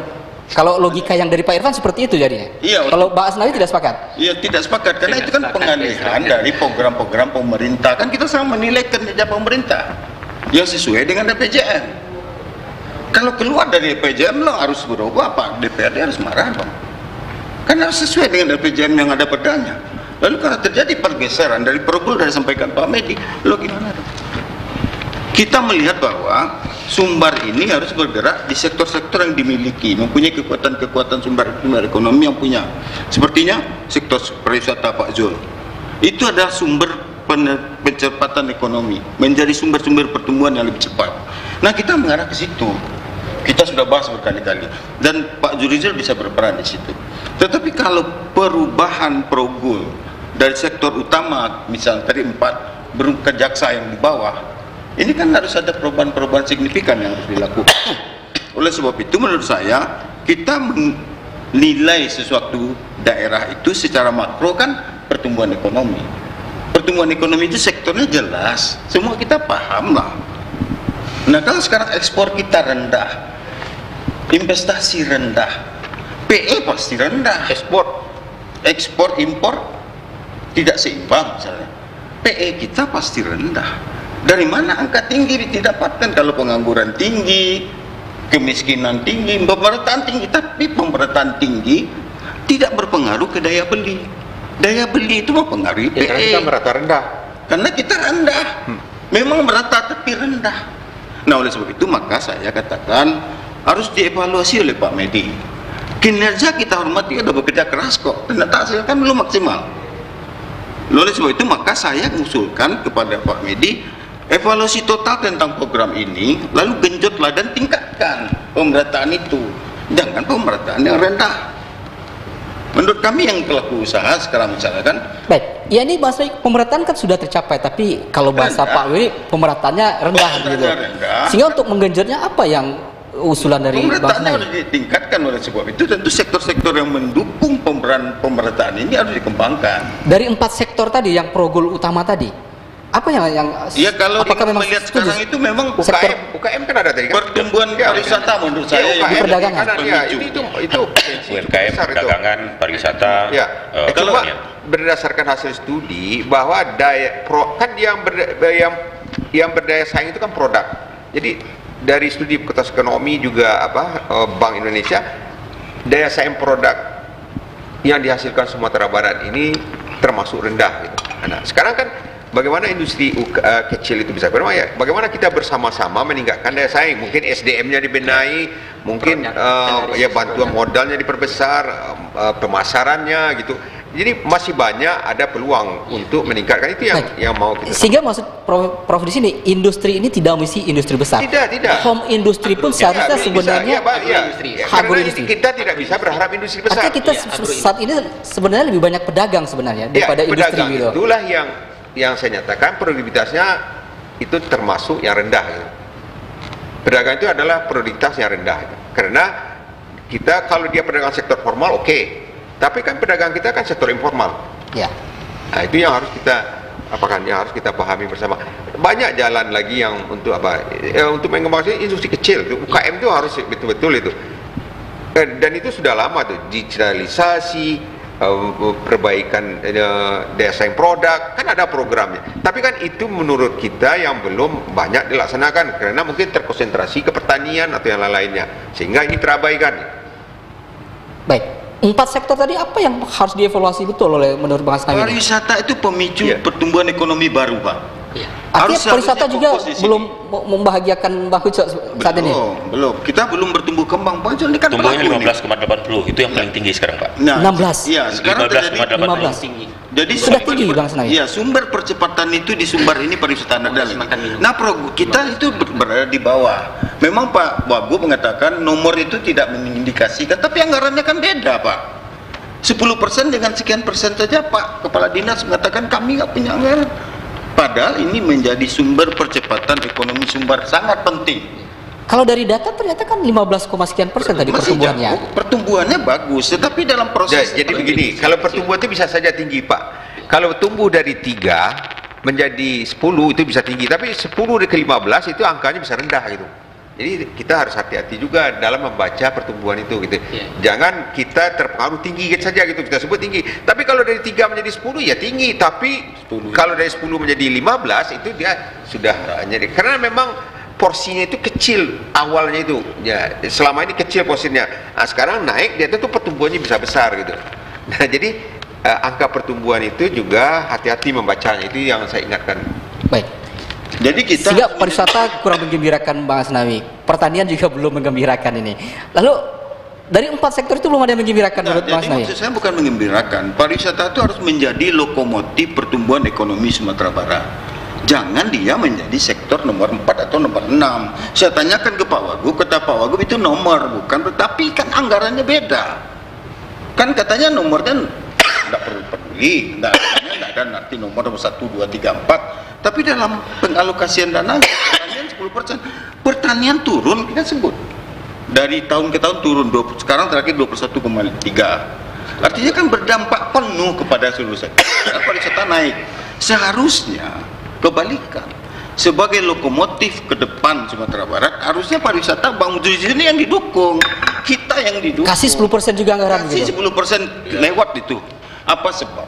Pak Medi mengatakan bahwa nilai jual pertanian itu naik hasil pertanian itu naik. Sehingga petani sehingga lu nanti pangsa pasar kok turun? Kan anomali itu. Apa sebab pangsa pasar turun?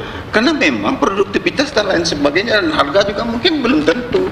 Harga yang naik itu kan sawit pak. Yang lain gimana coba?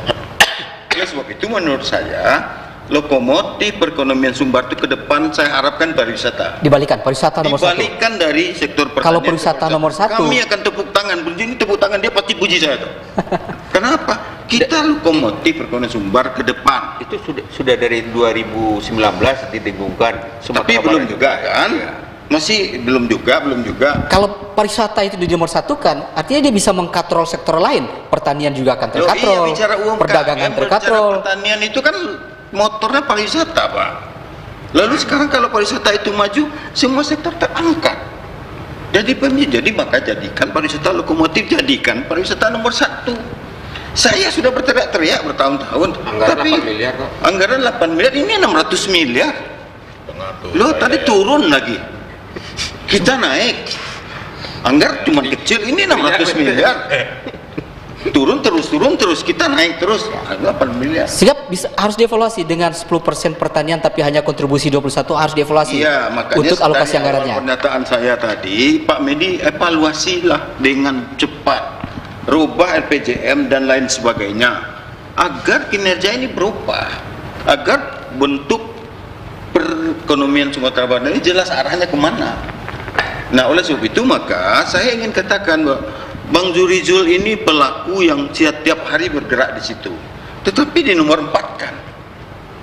Nah, pernyataannya dikatakan itu nomor sama, tidak ada artinya. Tapi anggarannya gimana dong? Oleh sebab itu, sebagai lokomotif yang didengung-dengungkan dan hasilnya sekarang kelihatan, investasi hari ini di Sumatera Barat hanya di sektor pariwisata. Yang lain no.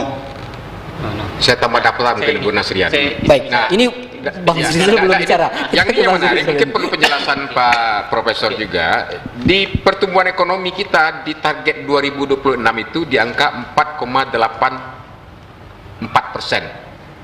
Sekarang saja nasional 5,31. Jadi sampai 20, 2026 kita patok di bawah nasional terus nih kalau seandainya bertahan 5,3. Padahal proyeksi Pak Jokowi 5,5 sampai 6 persen 2023 ini kan. Nah di bawah lagi kita. Kalau seandainya capai dia 4,5 saja pada 2025 menang lagi Pak BPN lebih target bisa seperti itu gitu kan. Karena memang targetnya rendah. Terus satu sebagai bahan evaluasi juga kontribusi PDRB di menurut pengeluaran Pak. Oh ya. Ya, pengeluaran konsumsi rumah tangga itu 53,30 persen. Ya. Nah, terus pembentukan modal tetap bruto Investasi. 29,22. Investasi. Ekspor 15,18. Ini komoditi yang ada kakao apa namanya Sawit, yang bagus kemarin Pak Arga itu naik. Konsumsi pemerintah 10,22 persen Pak. Ya. Menstimulus ini 10,2 persen. Konsumsi pemerintah yang punya Pak Medi yang 6, sekian triliun itu. Menurut saya seperti itu. Hanya 10% Ya bisa itu penjelasan kontribusinya. juga kan. Tidak hanya Ah. pemerintah provinsi itu. Izin. Jadi- Berarti itu anggaran semua balai-balai APBN yang Ya. semuanya. 10 persen kok. Baik, sabar Mas Rizal. Ini Pak Irfan Bu. Baik. Ya, sedikit Pak Irfan. Ya, pertama kita harus bedakan tadi eh, yang mungkin perlu saya tambahkan, bedakan antara distribusi dengan pertumbuhan atau kontribusi tadi distribusi. Pertanian menurun kontribusinya atau distribusinya terhadap total PDRB dalam pembentukan PDRB. Tetapi pertumbuhannya kan meningkat dalam dua tahun ini. Dari berapa tadi? Eh, pertumbuhan sektor lapangan usaha pertanian itu meningkat tuh dari 1,18 persen tahun 2002, 2020 itu meningkat 2022 3,52. Nah, meningkat tuh pertumbuhan Dari Distribusi memang 2021 menurun. ya? Jadi walaupun apa? Walaupun nanti secara kontribusi sementara tadi perdagangan besar juga meningkatnya lebih cepat tambah lagi dengan dengan apa tadi penyediaan akomodasi dan makan minum pariwisata. Nah kalau kita juga mesti mengingat bahwa pertumbuhan itu juga mesti berbasis luas. Basis kita adalah pertanian. Separuh lebih penduduk kita lebih Petani. dari lebih dari separuh penduduk kita bergantung hidup nah, rumah tangga pertanian. Maka masa kita kemudian abaikan maka 10% misalnya anggaran pertanian itu saya sikapi sebagai positif bentuk keberpihakan kepada mayoritas penduduk kita yang adalah Ya, menggantungkan Tapi yang dipertanyakan dengan 10% itu tidak Ya, korelasi nah, positif berikut. Dia dengan kontribusinya. Tetapi seharusnya tumbuhnya lebih lebih besar. Nah ini kan juga soal upaya kita. Saya Sehingga tadi. Pak Irfan tidak setuju kalau dibalik 10% untuk pertanian dia akan mengkatrol semua sektor-sektor tadi. Nah, Nah, jadi- soal produktivitas dan nilai tambah. Iya, Saya itu, yang iya. bagian itu. Iya. Jadi ada yang ada yang bolong di tengah kita tuh. Pertanian, industri kita rendah, perdagangan kita kuat. Berarti ada yang tengah-tengah. Tengah-tengah itu apa? Upaya untuk meningkatkan nilai tambah tadi. Soal hili- hilirisasi kita mengubah nanti dari mengandalkan kepada pertanian mentah ya menjadi setengah jadi menjadi barang barang jadi mestinya baru itu kemudian didistribusikan melalui kegiatan perdagangan besar jadi yang diperdagangkan yang dibawa itu bukan hasil hasil pertanian Baik, yang, Yang sebenarnya visi misi di RPJM juga targetnya hilirisasi itu sebenarnya. Tapi Iya, ada- ada- masih ada dua tahun lagi ya yang akan menuju ke situ ya. Nah, ah, satu lagi juga tadi beberapa disinggung ah, karena juga Pak Daya tadi menyampaikan soal PDRB menurut pengeluaran. Nah, kita ini saya bicara soal data nih bahwa ah, kalau soal konsumsi rumah tangga kita dua tahun ini kan meningkat nih dari 85 triliun menurut harga konstan ah, 85 triliun pengeluaran konsumsi rumah tangga itu menjadi 90 triliun pada 2022. Nah, kemudian soal investasi atau PMTB atau investasi itu Nah, investasi kita 48,9 triliun menjadi 51,4 triliun berdasarkan harga konstan di- dihilangkan pengaruh inflasi dalam. Nah, eh, kemudian juga tadi soal in kredit misalnya. Kredit kita juga bertumbuh. Ada dua sektor selain akomodasi dan makan minum. Kredit eh, investasi yang disalurkan oleh perbankan itu. Nanti bisa lihat laporan perekonomiannya Bank Indonesia. Nggak tahu saya kalau juga diragukan. Selain akomodasi makan minum yang menyumbang besar saluran kredit kita juga ke sektor perdagangan apakah nanti sifatnya kecil bagi saya jauh lebih apa lebih banyak keberpihakan gitu oke ke UKM tetapi nanti jumlahnya banyak kan walaupun kecil tapi jumlahnya banyak Kredit, Itulah pemerataan tadi sebenarnya. itulah bagi saya lebih penting tadi saya lebih setuju tadi misalnya kalau kita diadakan memilih antara pertumbuhan yang tinggi tapi pemerataan yang yang yang apa yang Jomplang. ya jomplang nah dibandingkan antara pertumbuhan lambat tapi pemerataan saya lebih pilih Pemerataan. Pemerataan tadi. yang lebih baik daripada pertumbuhan Dan pertumbuhan ekonomi tidak selalu dia linear dengan Oke, pemerataan. Misalnya, tadi saya tambahkan, mengapa rata-rata nasional tinggi sekarang? Itu kan karena Maluku itu 15 persen. Maluku itu 15 persen. Dan Maluku 15 persen pada Ya, tahun jangan ini kita banding. Kita, kita. Sumatera saja, Pak.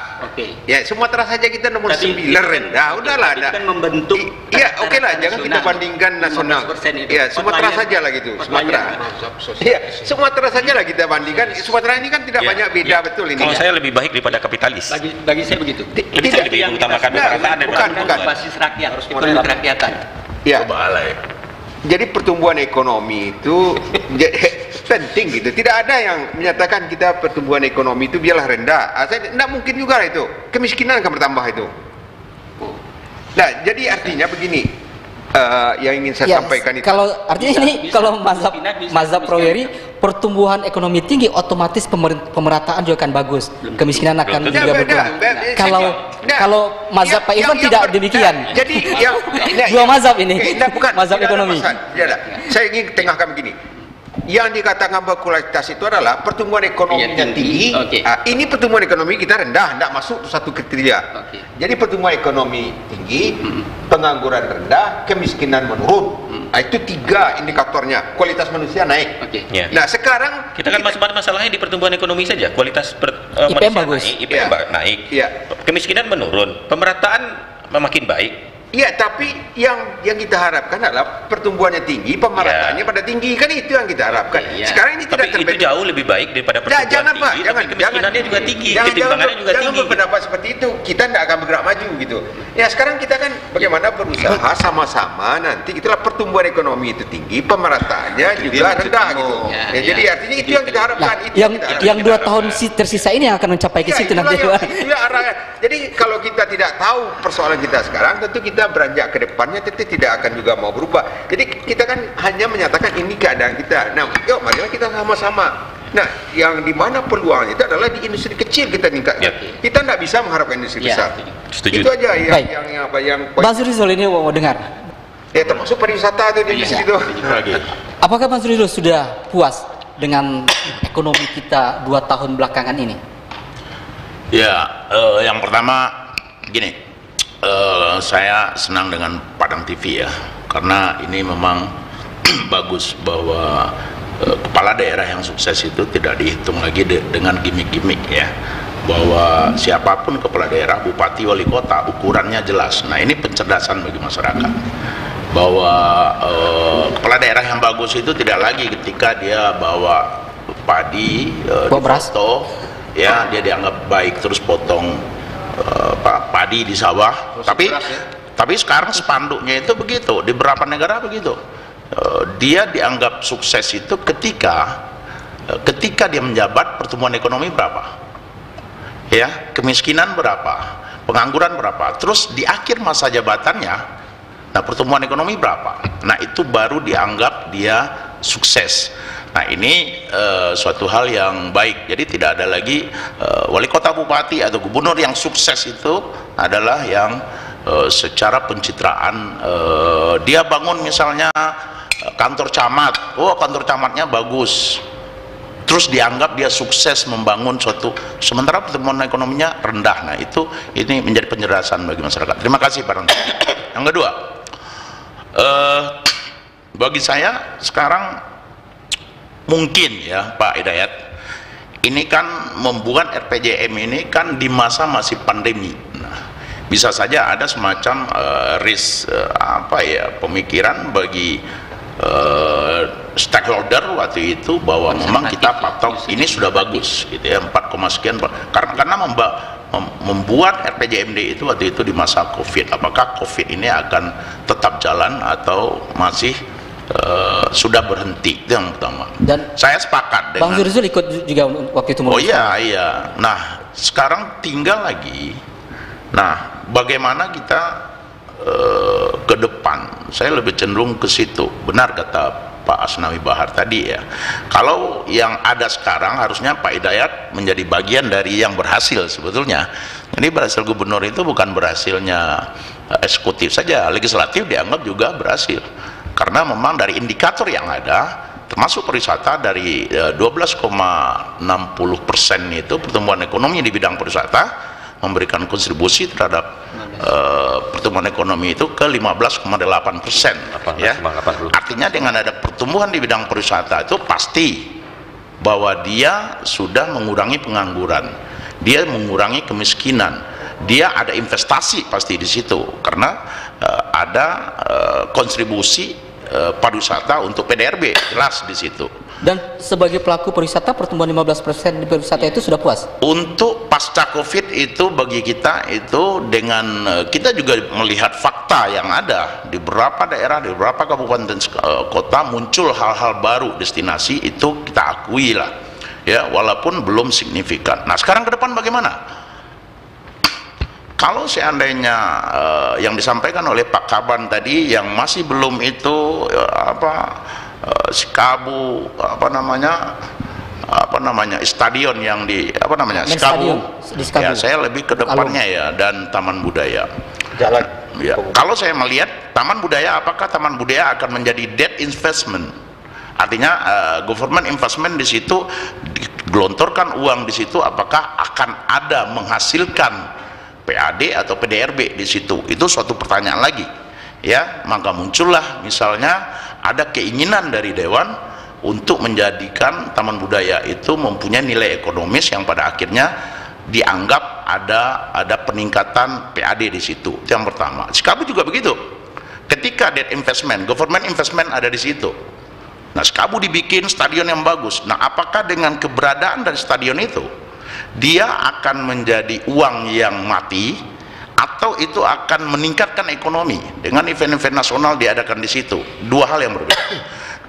Tinggal sekarang bagaimana dua hal ini eh, legislatif dengan eksekutif eh, bersepakat untuk menyelesaikan. Karena ini kesepakatan dari eh, mereka di eh, Perda eh, 6 itu untuk RPJMD nah yang kedua bagaimana ke depan ketika uh, private investment tidak ada kenapa kita tidak berusaha menjadikan investasi pemerintah tapi mendorong investasi swasta? Nah ini yang saya selalu sampaikan. Jadi investasi pemerintah itu dia menjadi trigger pemicu lahirnya investasi dari swasta. Nah apa yang harus dilakukan? Dengan membangun beberapa accessibility pariwisata accessibility jalan yang uh, memancing orang untuk berinvestasi. Menurut Bang Zurizul belanja pemerintah yang kontribusinya 10% itu belum jadi stimulan yang uh, bagus. 10% itu apa yang 10% yang mana? untuk PDRB dalam pengeluaran dari sisi pengeluaran. Iya, pemerintah ya, kalau untuk belanja pemerintah cuma 10% Kurang. saya lebih kepada efektivitasnya Artinya apakah itu dia belum? akan men-trigger masuknya investasi?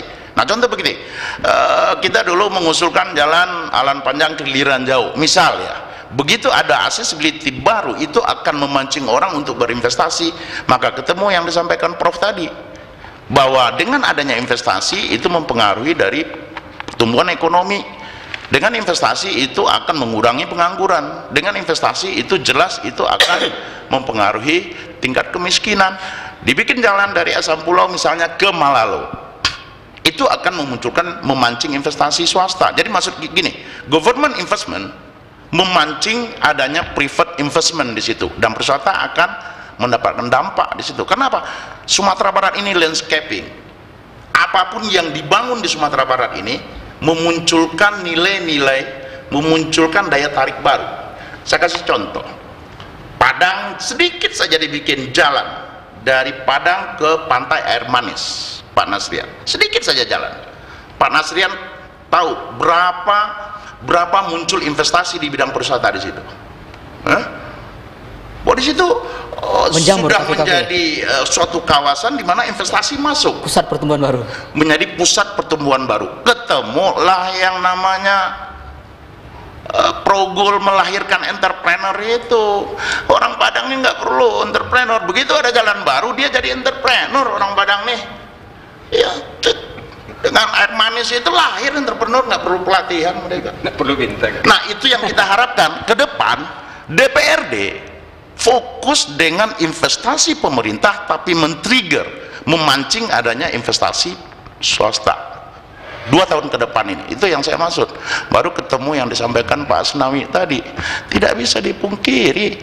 Bagaimana UMKM mau berkembang kalau orang yang datang tidak ada ke Sumbar? Dalam minggu ini saja kami menolak tamu dari Riau itu sampai empat grup kami tolak. Karena penuh semuanya.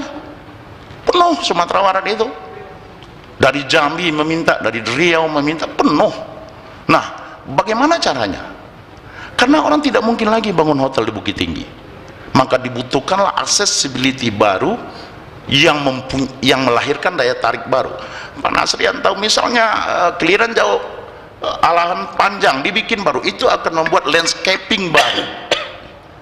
Ya dari asam pulau ke Singkara itu akan menimbulkan daya tarik baru. Bahwa di puncak itu orang bisa lihat danau Singkara orang bisa lihat laut. Ya dan itu memancing investasi baru di situ. Kira-kira seperti itu. Nah bagaimana ini dicoba? Jangan kita kita tidak bisa mengatakan orang sulit berinvestasi di Sumatera Barat. Kita tidak menyiapkan investasi pemerintah untuk memancing investasi. Itu yang saya maksud. Nah barulah kita bicara akan lahirlah entrepreneur baru. Akan yang disampaikan Prof tadi bahwa sektor pariwisata akan memberikan kontribusi yang besar untuk pertumbuhan ekonomi. Itu yang saya maksud. Nah eh, mudah-mudahan ini menjadi Dua perhatian tahun- dari Dewan. Dua tahun terakhir ini menurut Bang Zurizul, investasi pemerintah atau belanja pemerintah sudah mendorong ke situ stimulan yang efektif. dia, dia lebih kepada hal yang konsumtif ya Saat tapi ini itu masih bagus konsumtif ya? konsumtif ya belum belum membuat trigger untuk membangun eh, apa investasi baru bagi swasta Bisa lebih dijelaskan konsumtifnya bagaimana nih belanja pemerintah yang dirasakan ya eh, memang itu eh, kondisional Banyak ya. saya seremonialnya memang begitu. pernah bertanya saya bantu. Iya silakan. Iya boleh Ya, saya, gini, saya pernah banyak. bertanyakan juga kenapa ah, ini dalam rangka kita mau apa mau mau apa ya mau me- memulihkan dunia perhotelan kita maka diadakanlah kegiatan-kegiatan membantu teman-teman pro. Itu bagus. Menurut saya itu suatu pemikiran yang cerdas juga. Begitu hotel kembali aktif nah mereka akan membeli untuk kebutuhan hotel kepada masyarakat. Nah ekonomi mulai bergerak di situ. Tapi dua tahun ke depan pemerintah sudah harus ya men, eh, men-trigger investasi pemerintah untuk melahirkan investasi swasta. Seperti yang saya Sehingga sampaikan menurut Bang Zurizul dua tahun terakhir ini ah, konsumtif belanja pemerintah ini untuk sekedar memberikan bertahan hidup untuk dunia usaha di, di Sumbar setelah pasca Iya, kalau 2021 itu kan dananya eh, dari yang dianggarkan oleh Pak IP itu kita juga harus rasional, objektif di situ. Bahwa itu belum masuk di progol ya. Di tahun pertama Pak Gubernur itu beliau menjalankan apa yang dianggarkan oleh Gubernur yang lama Yang- ya, yang dilakukan oleh Mahal di audit cuma 2022 saja cuma yang dia gunakan. 2022 artinya kita juga sulit untuk menilai ketika baru satu tahun politik anggaran yang dilakukan oleh eksekutif itu membuat hasil. Tapi dengan pertumbuhan ekonomi 4,36 pasca pandemi nah ini eh, suatu kegembiraan bahwa legislatif juga harus merasa bangga. Ada keberhasilan dari Pak Dayat juga sebetulnya. Tapi kan Pak Dayat ini kan ketika itu berhasil kan ini rendah ini targetnya gitu ya. Ya tapi nggak apa-apa lah. Semua begitulah. Kalau misalnya Ini kata ah, dia, datanya diberikan tercapai gitu. ah ini datanya nggak jelas ini. Kalau tidak ada data mana datanya? Ini itu biasa. Akibat apa? Kita ingin sumber ini lebih bagus. Betul ya Prof ya? Nah ketika pertumbuhan sudah mencapai target nah kenapa tidak target dinaikkan? Boleh saya sepakat kalau kita tidak puas RPJMD angka direvisi Kita Tidak puas juga baik. sebenarnya. Ya, kita ingin lebih baik. Eh, koreksi, evaluasi itu yang memang harus kita lakukan. Baik. Angka ini bukan bukan angka yang given yang kita terima eh, dan kita berpuas diri tidak. Kita tentu ingin jauh lebih baik daripada ini. Ya. Kalau bahasa Bang Hidayat tadi ini tidak ada bekerja capai aja Oh, tidak. data-data ini. Tidak mungkin. Tidak ya. Ya boleh, kalau mau ditingkatkan saya rasa tidak ada masalah karena ada target di 2022 itu sudah melampaui target 2024. Ya, artinya apa yang dilakukan oleh pemerintahan hari ini, ya ada beberapa indikator betul ya Pak Media Ya. yang sudah melampaui eh, perang kemiskinan, itu target yang dipatok 2024. Nah ini kalau semangat kita, tapi dengan catatan politik anggaran dari DPRD, dari eh, eksekutif, betul-betul mengarah untuk peningkatan pertumbuhan ekonomi yang dimaksud seperti itu. Itu maksud saya. Dan sektor pariwisata yang saat ini berapa? 9 miliar. Terlalu kecil kalau menurut Bang Zuri itu sebagai pelaku pariwisata. Oh sangat kecil. Makanya event-event yang diada pun saya malas ininya event-event lokal yang yang dihadiri warga lokal yang yang eh, tidak membuat eh, cash inflow. Bahwa event yang bagus itu bukannya orang rame, tapi yang datang orang si cincin, orang lubu aluang, ya orang Banda Bue bukan begitu. Rame-rame. Tapi dia tidak membuat cash inflow. Nah, event yang bagus itu adalah event yang membuat hotel-hotel penuh, homestay penuh. Itu indikator dari event yang bagus. Bukannya masyarakat rame. Terus sore-sore dangdutan, bukan begitu. Nah, ini yang 77 pun event. Tapi yang hadir masyarakat lokal nothing bagi kami orang berwisata. Ya. Nah, ketika kita tawarkan beberapa event berkelas dunia, anggarannya tidak ada anggaran tidak ada. Nah ini yang menjadi permasalahan di Sumatera Barat. Karena mindset kita itu masih mindset mengumpulkan orang terus ada pejabat publik yang speak di depan orang ramai dan berharap dipilih kembali. Kalau orang luar negeri mana mau pilih kita? katanya. Ya ada yang mengatakan gitu Pak. Datang orang Singapura, orang Malaysia mereka nak milih awak do Bazul mengalu event untuk inyong. Jadi mindset ini harus dirubah. Baik, kita akan bahas apakah belanja pemerintah yang eh, APBD kita hampir 6, sekian triliun itu lebih banyak konsumtif daripada produktif. Kita bahas setelah jeda iklan berikut ini. Tetaplah bersama kami dalam program Advokat Sumber Bicara.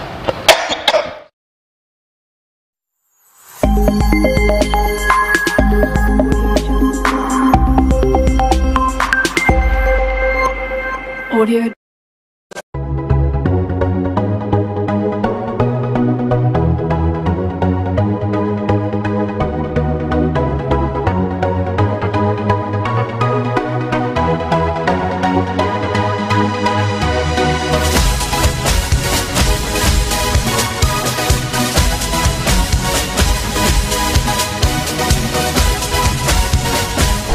informasi aktual, menarik, dan terkini.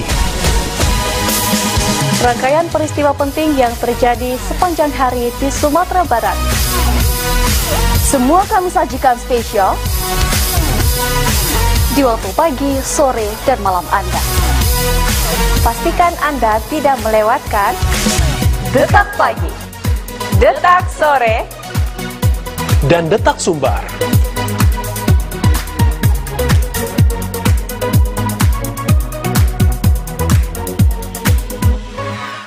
Zaman Pak Mayeldi dulu itu beliau memang melarang untuk dagang di kaki lima.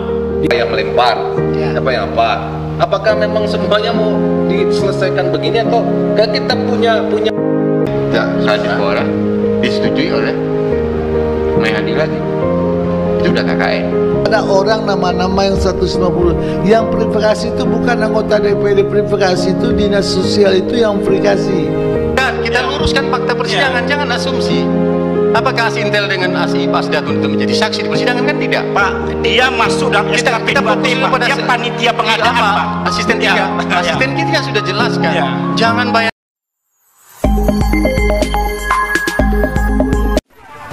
menyajikan berita aktual seputar Sumatera Barat.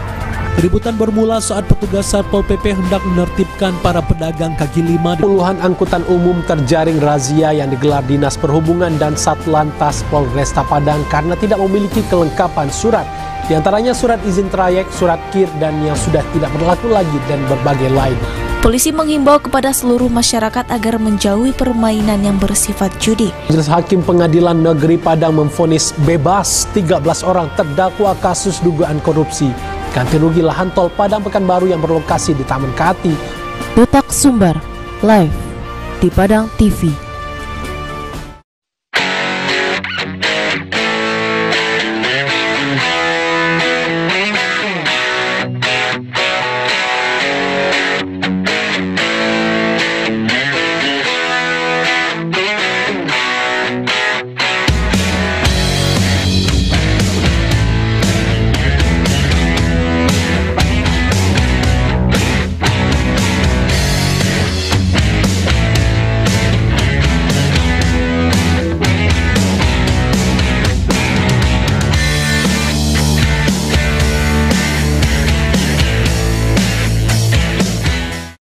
Terlihat beberapa rumah warga sudah sangat dekat dengan bibir sungai Batang Pasaman. Pemirsa lantaran kecewa para peternak di Kelurahan Balai Gadang Kecamatan Kota Tengah Padang. Saking kesal peternak pun mengumpamakan dinas pertanian layaknya seperti polisi India. Warga Kecamatan Kuranji mengeluhkan belum adanya perbaikan terhadap Jalan Kuranji Belimbing Gunung Sari yang belum tersentuh perbaikan.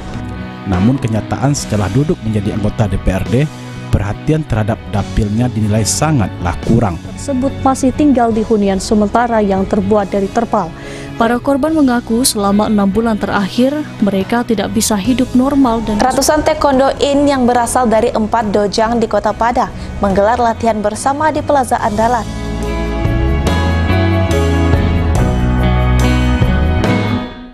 Kita tidak melarang hak hak untuk berkreasi kita. tersebut tidak punya tempat lagi, tidak Interupsi, punya moderator. sarana lagi untuk berjualan. Honorer ini jumlahnya 400 ribu lebih kawan-kawan. Kebijakan ini tidak ada jaminan bahwasanya guru honorer akan sejahtera. Kontroversi, kritisi sebuah kebijakan, perdebatan ilmiah antar agen perubahan bangsa, semua terangkum dalam program Mimbar Mahasiswa Mengupas Realitas.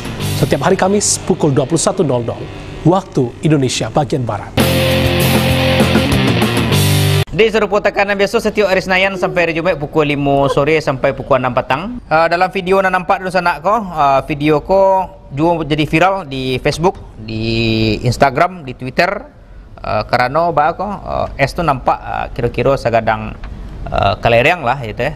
Oh, lado lah lah turun tadi mantin. Ah, bara gini. Tadi 75. Oh, 75. Nah, di sana Polres Pasaman melakukan pemusnahan barang bukti eh, narkotika hasil tangkapan Polres Pasaman selama operasi anti Singgalang. Ah itu kalau bisa yang nggak usah yang anak buahnya, kepalanya tangkap. Mm-mm.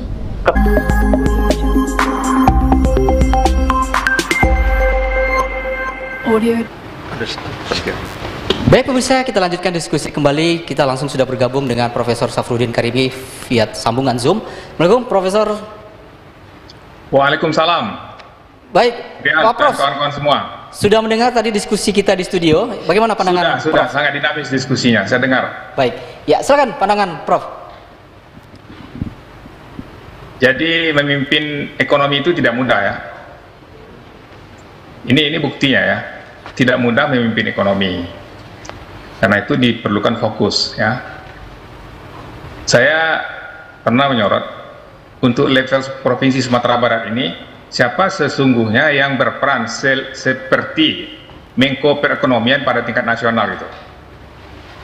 Itu tidak ada yang mengintegrasikan kebijakan ekonomi provinsi, kota, kabupaten agar fokus mencapai target tertentu, katakanlah pertumbuhan ekonomi tinggi ya, itu, atau meningkatkan daya saing kita. Jadi itu perlu. Dalam dua tahun ini tidak ada arah ke situ, arah mengintegrasikan kekuatan ekonomi lokal Sumatera Barat itu. Nah, kalau kita bi- berbicara entrepreneur, mau dihasilkan 100 ribu entrepreneur ya, banyak orang mempertanyakan, tetapi saya tidak mempertanyakan itu. Saya hanya mengharapkan hasilnya gitu. Ketika kita bicara entrepreneur, itu konten paling penting dalam seorang entrepreneur itu adalah inovasi. Nah, yang disebut tadi apakah 18.000 atau 100.000 atau sekian itu, apakah sudah ada konten inovasinya gitu. Kalau tidak ada konten inovasinya, kita hanya menipu diri kita sendiri saja itu. Ya. Nah, saya nanti akan nanya juga itu nanti ya. Setelah berakhir periode Pak Gubernur ini, saya akan nanya juga. Dan saya tidak mempertanyakan konsepnya sekarang itu. Itu penting. Kenapa? Karena memang entrepreneurship itu penting untuk pertumbuhan ekonomi. Apalagi kita bercerita pertumbuhan ekonomi tinggi dengan pemerataan yang bagus.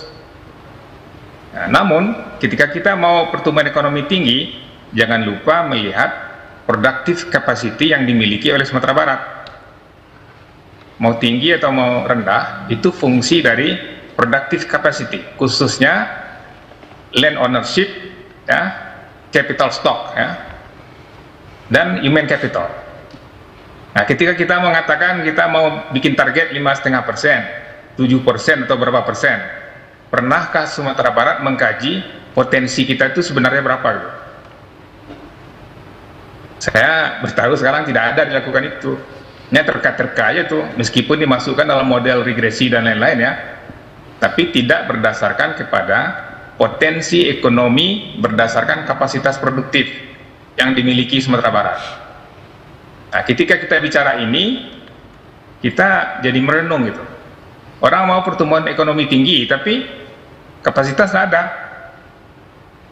Kita mengatakan sektor pertanian kita penting ya.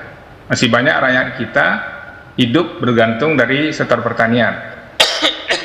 Itu adalah benar tetapi petani kita banyak yang landless gitu. Tidak punya tanah, tidak punya lahan. Itu persoalan nyata itu. Petani kita banyak tapi dia landless. Nah, kalau Bapak Bapak pernah mengkaji dari hasil sensus pertanian, itu Gini rasio pemilikan lahannya berapa? Itu jauh di atas 7%, di atas 0,7 Nah, tadi yang disebut jini-jini itu kan jini pengeluaran. Pengeluaran bisa saja dia mendapat pengeluaran karena ada bansos, ada bantuan-bantuan. Coba hitung jini pendapatan. Jangan-jangan pertumbuhan kita rendah, kesenjangannya tinggi. Karena kita tidak pernah memeriksa kapasitas produktif. Karena itu saya tidak bosan-bosannya menyampaikan kepada bapak-bapak politisi, pejabat ya, kepala daerah, ketika apa nama HGU di sektor pertanian itu berakhir mohon jangan dilanjutkan. Redistribusilah kepada petani kita. Kalau kita benar-benar cinta petani kita gitu. Ini di, dicari juga investor besar ya konglomerat juga yang dikasih di mana-mana saya sampaikan tuh ya. Kalau serius kita membangun sektor pertanian kita kasih petani kita tuh lahan produktif minimum 5 hektar. Pasti maju. Nggak nggak perlu itu dibantu kemiskinan lagi ya. Tidak perlu dia dibantu kemiskinan bantuan sosial yang begini begitu itu nggak perlu tuh. Yang penting petani kita punya lahan produktif 5 hektar. Masa dia punya ta tanah wilayah tapi dia nggak memiliki usaha ber berbasis tanah wilayah dia hanya jadi penonton gitu cobalah lihat di daerah-daerah yang tumbuhnya tinggi khususnya dari perkebunan sawit, mana petani lokal kita? Mereka mungkin jadi buruh di situ. Nah, adakah itu dipikirkan oleh para polisi maker di daerah kita? Kalau menurut saya belum ya. Kalau ditanya ke saya, apakah saya dipikirkan? Belum. Jadi kalau Maete tadi mengatakan perlu perubahan mindset, saya sangat setuju tuh. Itu yang tidak terjadi itu. Selama 20 tahun terakhir ini tidak ada perbaikan mindset tentang pembangunan ekonomi kita. Cobalah lihat. 10 tahun yang lalu kita bercita satu sapi satu petani ya. Berapa jumlah petani kita? Apakah dia punya sapi? Tidak ada. Jadi kita hanya retorika saja gitu. Nah, sekarang 100 ribu entrepreneur. Saya berharap sekali jangan hanya retorika tuh. Ya, benar-benar kejadian. Entrepreneur itu kuncinya dia punya inovasi Nah, siapa ahli-ahli entrepreneur di Sumbar ini yang diminta oleh Bapak Gubernur untuk memberikan pikiran. Saya bukan ahli entrepreneur ya. Saya bukan ahli entrepreneur, jadi bukan saya ya. Jangan jangan pula dikira nanti saya mencari mencari pemasaran ya, tidak. Ahli entrepreneur itu coba diminta pikiran ya. Apakah sudah kita on the right track itu? Belum itu. Ya. Kalau menurut saya ada hal penting yang tidak terjadi dalam dua tahun ini, Rian. Yang paling penting itu menurut saya dari sisi institutional development ya, adalah konversi Bank Nagari itu menjadi bank syariah. Itu ada berdasarkan kajian itu ya. Saya memperlihatkan kajiannya bahwa itu lebih menguntungkan bagi perekonomian daerah dibanding kalau dia spin off. Tapi karena kita selalu berpolitik ya, produktivitas kita jadi rendah. Mestinya kita berpolitik itu ketika pemilu saja, ketika pilpres, pilgub ya, itu kita berpolitik oke okay itu. Tapi kita ketika kita bekerja, kita bekerja tanpa ada lagi ini koalisi saya, ini bukan koalisi saya gitu. Tren ini di daerah kita, menurut saya itu membuat membuat noisy ya, bikin noise saja itu, sehingga susah kita berpikir. Kalau saya dengar ya, satu buzzer berdebat dengan buzzer lain ya, tidak ada satupun yang pantas didengar itu. Sekarang bagaimana kita menghentikan itu? agar diskusi-diskusi tentang pembangunan, khususnya pembangunan ekonomi itu menjadi produktif. Kalau terakhir ini saya lihat tidak itu ya. Pak Gubernur pun jabatannya tidak hanya sekadar gubernur itu. Dia juga pemimpin partai politik. Nah, mana membagi waktunya itu? Kalau saya itu mempertanyakan bagaimana beliau membagi waktu. Memang tidak dilarang ya, seorang gubernur, seorang bupati, seorang apa namanya, menjadi pemimpin partai politik tidak dilarang tetapi produktivitasnya untuk kepentingan publik ya bagaimana mengukurnya nah ini akan mempengaruhi kinerja dia di dalam ekonomi ya akan akan terpengaruh nah, siapa dari rekan-rekan yang dekat ke beliau itu yang memberikan masukan saya kira tidak hanya menikmati saja gitu Pak Rizul Pak gitu. Tahu saya, tahu saya. Menurut saya beliau tidak tidak. Beliau mestinya jangan pegang ketua partai gitu. Nah, apa apa kerugian yang buat Sumbar? Wakil ketua. Konversi Bank Syariah itu enggak enggak jadi itu. Kalau beliau bukan memimpin partai, konversi Bank Syariah itu sudah selesai itu. Nah, ini penilaian saya ya, sebagai pengamat. Nah, kalau disuruh saya tolong buktikan kan, saya akan riset saya buktikan dengan riset ya kalau menentang saya mau tolong Pak buktikan jangan cerita saja ya itu sebabnya ya tapi kalau beliau bukan seorang ke, ke, kepala partai dia hanya seorang kepala daerah kepala gubernur itu konversi bank syariah itu sudah selesai itu sehingga kelembagaan ekonomi kita yang baru itu akan jalan dengan efektif yang mudah-mudahan Pak Gubernur dengar juga nih ya itu Kemudian apa lagi? Yang menjadi bottleneck buat ekonomi Sumbar itu adalah infrastruktur. Tidak hanya jalan tol ya. Jalan tol yes. Kenapa? Kalau kita tidak terlambat bangun jalan tol, kita terlambat maju mendorong pertumbuhan ekonomi cepat dibanding Riau. Dibanding daerah lain. Nah, itu itu saja. Apakah kita suka dengan jalan tol apa tidak suka? Itu terserah lah ya. Tetapi dampaknya bagi kita adalah kita terlambat memacu pertumbuhan ekonomi. Biaya produksi kita menjadi tinggi. Ketika biaya produksi kita menjadi tinggi, daya saing kita menjadi rendah. Itu fakta tuh. Nah, belum lagi infrastruktur lokal yang yang membuat yang membuat bottleneck ya. Saya sebutlah contoh yang sering saya sebut ya, karena banyak saya dengar dari orang-orang di daerahnya. Itu jalan yang menghubungkan Payakumbuh dan dan Batu Sangkar lewat Lintau. Sampai tadi saya masih mencek itu. Karena kami tidak ada orang politik yang memperjuangkan Pak katanya. Itu jawabnya ya, masyarakatnya. Jadi karena itu saya ngusulkan kepada kita semua nih, para politisi di Sumbar ya, kepala daerah, lebih baik dana-dana pokir itu kita pool ya. Itu dia. untuk kebutuhan infrastruktur, hanya infrastruktur. Kita mesti sepakat tuh. Semoga Pak Gubernur dengar nih, Pak Dayat orang politik dengar ya, teman-teman. Pak Pak Pak Pak Pak U juga dengar. Ya. Kita fokus infrastruktur. Kenapa? Karena kita sudah ketinggalan. Coba Pak Pak Dayat datang ke kampus Unan ya, jalan dari bypass menuju gerbang kampus itu, coba lihat Orang tua-tua seperti saya nyopir itu payah tuh. Itu dalam kota pada. Siap.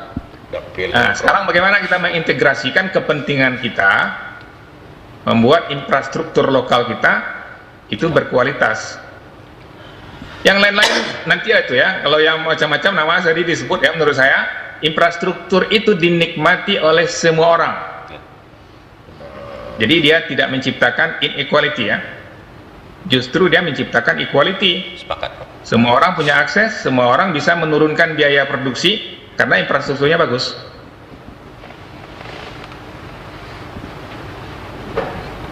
Ke depan apa sumbernya?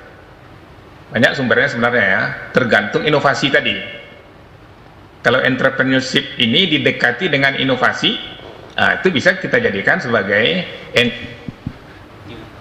growth itu. Tapi kalau hanya pelatihan-pelatihan, bimtek-bimtek ya, dicatat. Kita tahulah sedikit banyaknya tentang bimtek-bimtek itu. Siapa narasumbernya, siapa yang hadir ya. Menurut saya tidak perlu lah itu ya. Maaf ya teman-teman, menurut saya ini menurut saya itu ya, tidak perlu itu. Hanya wasting time and wasting money itu. Ya. Lebih baik jelas-jelas inovasi sekarang untuk apa? Ada yang nyebut mie Minangkabau. Di mana mie Minangkabau itu diproduksi? Mana bahan bakunya? Adakah inovasi di situ? Kalau ada, mari kita kembangkan. Nah, itu banyak lagi ya. Beras organik. Di mana diproduksi beras organik? Apakah benar-benar organik? Ya, pupuknya, bibitnya, benihnya, pengolahannya dan lain-lain. Mari kita support. Nah itu itu masyarakat tuh pelaku ekonomi real ya di lapangan. Lalu katanya ada 30% padi itu uh, terbuang karena helernya tidak berkualitas. Nah, saya dengar tahun ini akan ada 81 dibantu heler. Saya kira bagus. Tetapi yang terjadi, yang sudah terjadi sebelumnya adalah heler dibantu, tapi perlengkapannya tidak ada. Sehingga helernya jadi nganggur. Ada beberapa heler di Sumatera Barat tuh ya. Nganggur tuh. Jadi apa ketika Maete nyebut investasi mati itu investasi mati debt capital tuh ya kenapa bukan itu yang diperbaiki cepat segera ya Pak Dayat mungkin tahun ini ada anggaran ya kan Siapa? sehingga hilir-hilir kita itu bisa berproduksi dengan cepat uh, lalu apa lagi kalau saya baca-baca saya kaji-kaji itu ekonomi kita dibanding Riau lah ya dibanding Jambi, pertanian kita itu tidak tidak tidak bisa unggul. Industri kita tidak bisa unggul. Tambang kita nggak bisa unggul. Katakanlah pertumbuhan kita lebih tinggi dari mereka untuk sektor itu, tapi tidak unggul. Porsi mereka dalam nilai tambah jauh lebih besar dibanding Sumatera Barat. Bicara pertanian, Sumatera Barat dengan Riau lebih hebat Riau. Bicara industri, Sumatera Barat dibanding Riau lebih hebat Riau Nah, lalu di mana kita lebih hebat dibanding Riau sehingga kita bisa melejit pertumbuhan ke depan? Saya kaji itu yang pertama sektornya sektor pendidikan. Ya. Peran kita besar sektor pendidikan, laju pertumbuhan ekonomi kita juga tinggi di sektor pendidikan. Kalah dengan Riau. Kenapa kita tidak di situ berkutat itu? Itu sebenarnya perguruan tinggi kita ini bisa kita jadikan perguruan tinggi internasional ya The West Sumatra International University ada UNP, ada UNAN ada UBH ada UNES ada UIN, berapa UIN kita kan mari kita jadikan itu menjadi universitas yang kaliber internasional di sini Pemprov ini bersama pemerintah kota dan kabupaten lainnya benar bahwa Bapak urus itu SMU dan SMP, SD benar itu ya. Tetapi universitas ini adalah alat untuk menumbuhkan ekonomi. Jangan bapak-bapak pergi juga konsultasi ke Bogor, ke Jogja, ke Jakarta, bukan. Pergilah ke UNP ya, ke Limau Manis itu ya, ke IAIN, ke situ konsultasinya. Kalau uang perjalanan dinas memang nggak ada tuh ya. Tidak bakal ada tuh. Masa dia pergi ke Limau Manis uang perjalanan dinasnya nggak ada tuh. Nah, tetapi universitas itu akan memajukan daerah. Di mana-mana seperti itu. Coba kita lihat di Tohoku, di utara Jepang itu ya, di daerah bencana juga itu. Universitasnya itu jadi mitra pembangunan ekonomi daerahnya. Dia tidak pergi ke Tokyo nanya. Konsultasinya bukan ke Tokyo, tapi konsultasi dengan universitas daerahnya. Nah kita ini saya, saya perhatikan, perhatikan ya, kita kurang minat untuk arah situ. Kita tidak merasa penting untuk mengembangkan universitas daerah. Padahal itu adalah the stock of human capital dari daerah kita. Itu. Nah, lalu apa lagi? Masih dalam rangka perubahan mindset ya. Orientasi kita mesti beda dengan Riau. Nah, ini juga tidak berubah-ubah selama 30 tahun terakhir. Ya. Kenapa? Riau itu dia punya akses pertumbuhan di Asia Pasifik ya kita harus lewat Riau dulu oke bagus kita masuk dalam IMSGT IMTGT bagus. Tapi mana yang lebih besar manfaatnya buat Riau dibanding kita? Karena itu saya sejak lama mengusulkan agar orientasi kita itu ke arah barat. Kenapa? karena Sumbar ini punya satu-satunya pelabuhan penting di pantai barat. Bahkan ketika kampanye Pilgub kemarin itu datang seorang dubes dari Yunani, kita ajak diskusi melalui Zoom ya. Ada investor Yunani yang berminat untuk investasi dokyard ya di pantai barat. Salah satu yang diliriknya itu adalah Sumatera Barat. Nah, sampai di mana?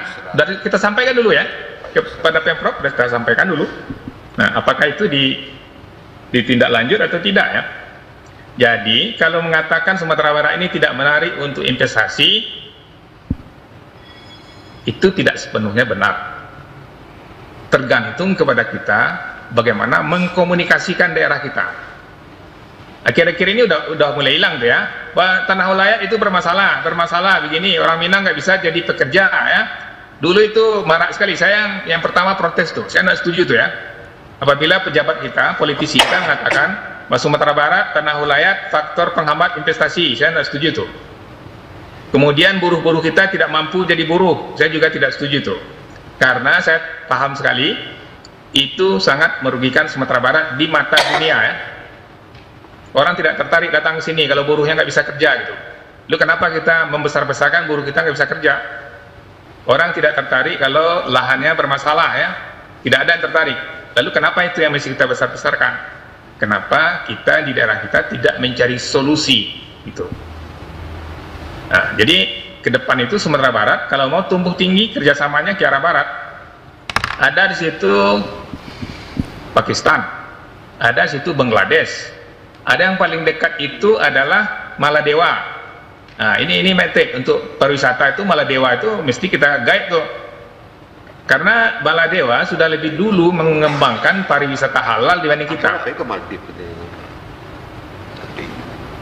Jadi kerjasamanya dengan pesawat agar agar uh, Bandara Minangkabau ini hidup ramai.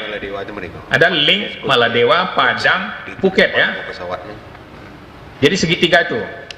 Nah, universitas yang sudah jadi internasional tadi didorong buat kerjasama dengan universitas-universitas di Asia Selatan, mulai dari Maladewa, Bangladesh, Pakistan, Sri Lanka dan lain-lain ya, India juga. Di mana negara-negara ini membutuhkan gambir kita. Mereka butuh gambir. Gambir diimpor oleh India, lalu diekspor lagi ke Pakistan dan Bangladesh. Mengapa kita tidak kerjasama dengan Bangladesh, dengan Pakistan ya? Sehingga ada kerjasama riset juga antar universitas ini Gambir bisa kita kembangkan, bisa kita ekspor dan lain-lain. Jadi menurut saya hal-hal itu yang mesti menjadi perhatian Bapak Gubernur kita dua tahun ke depan itu. Baik, makasih Prof. Tahan dulu. eh, sebenarnya banyak yang mau disampaikan oleh Prof sebenarnya ini. Eh, Iya, saya mau iya. dengar dulu pandangan dari eh, Bang Hidayat dulu. Bang Hidayat. Baik, baik, oke. Ya, ini kualitas produktif yang tadi kalau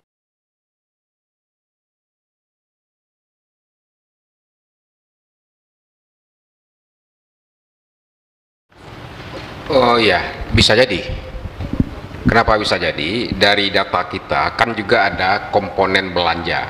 Belanja operasional, belanja barang dan jasa, belanja modal.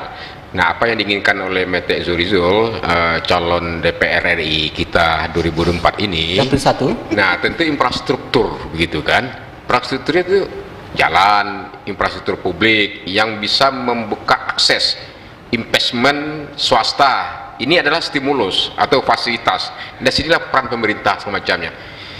Tapi memang secara politik anggaran belanja barang jasa ini menarik. Termasuk juga anggota DPRD.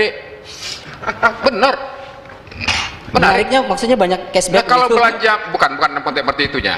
Ini kan lebih banyak dia ada value bertemu banyak orang begitu ya belanja barang jasa ini dalam konteks seperti itu menjadi hero dia.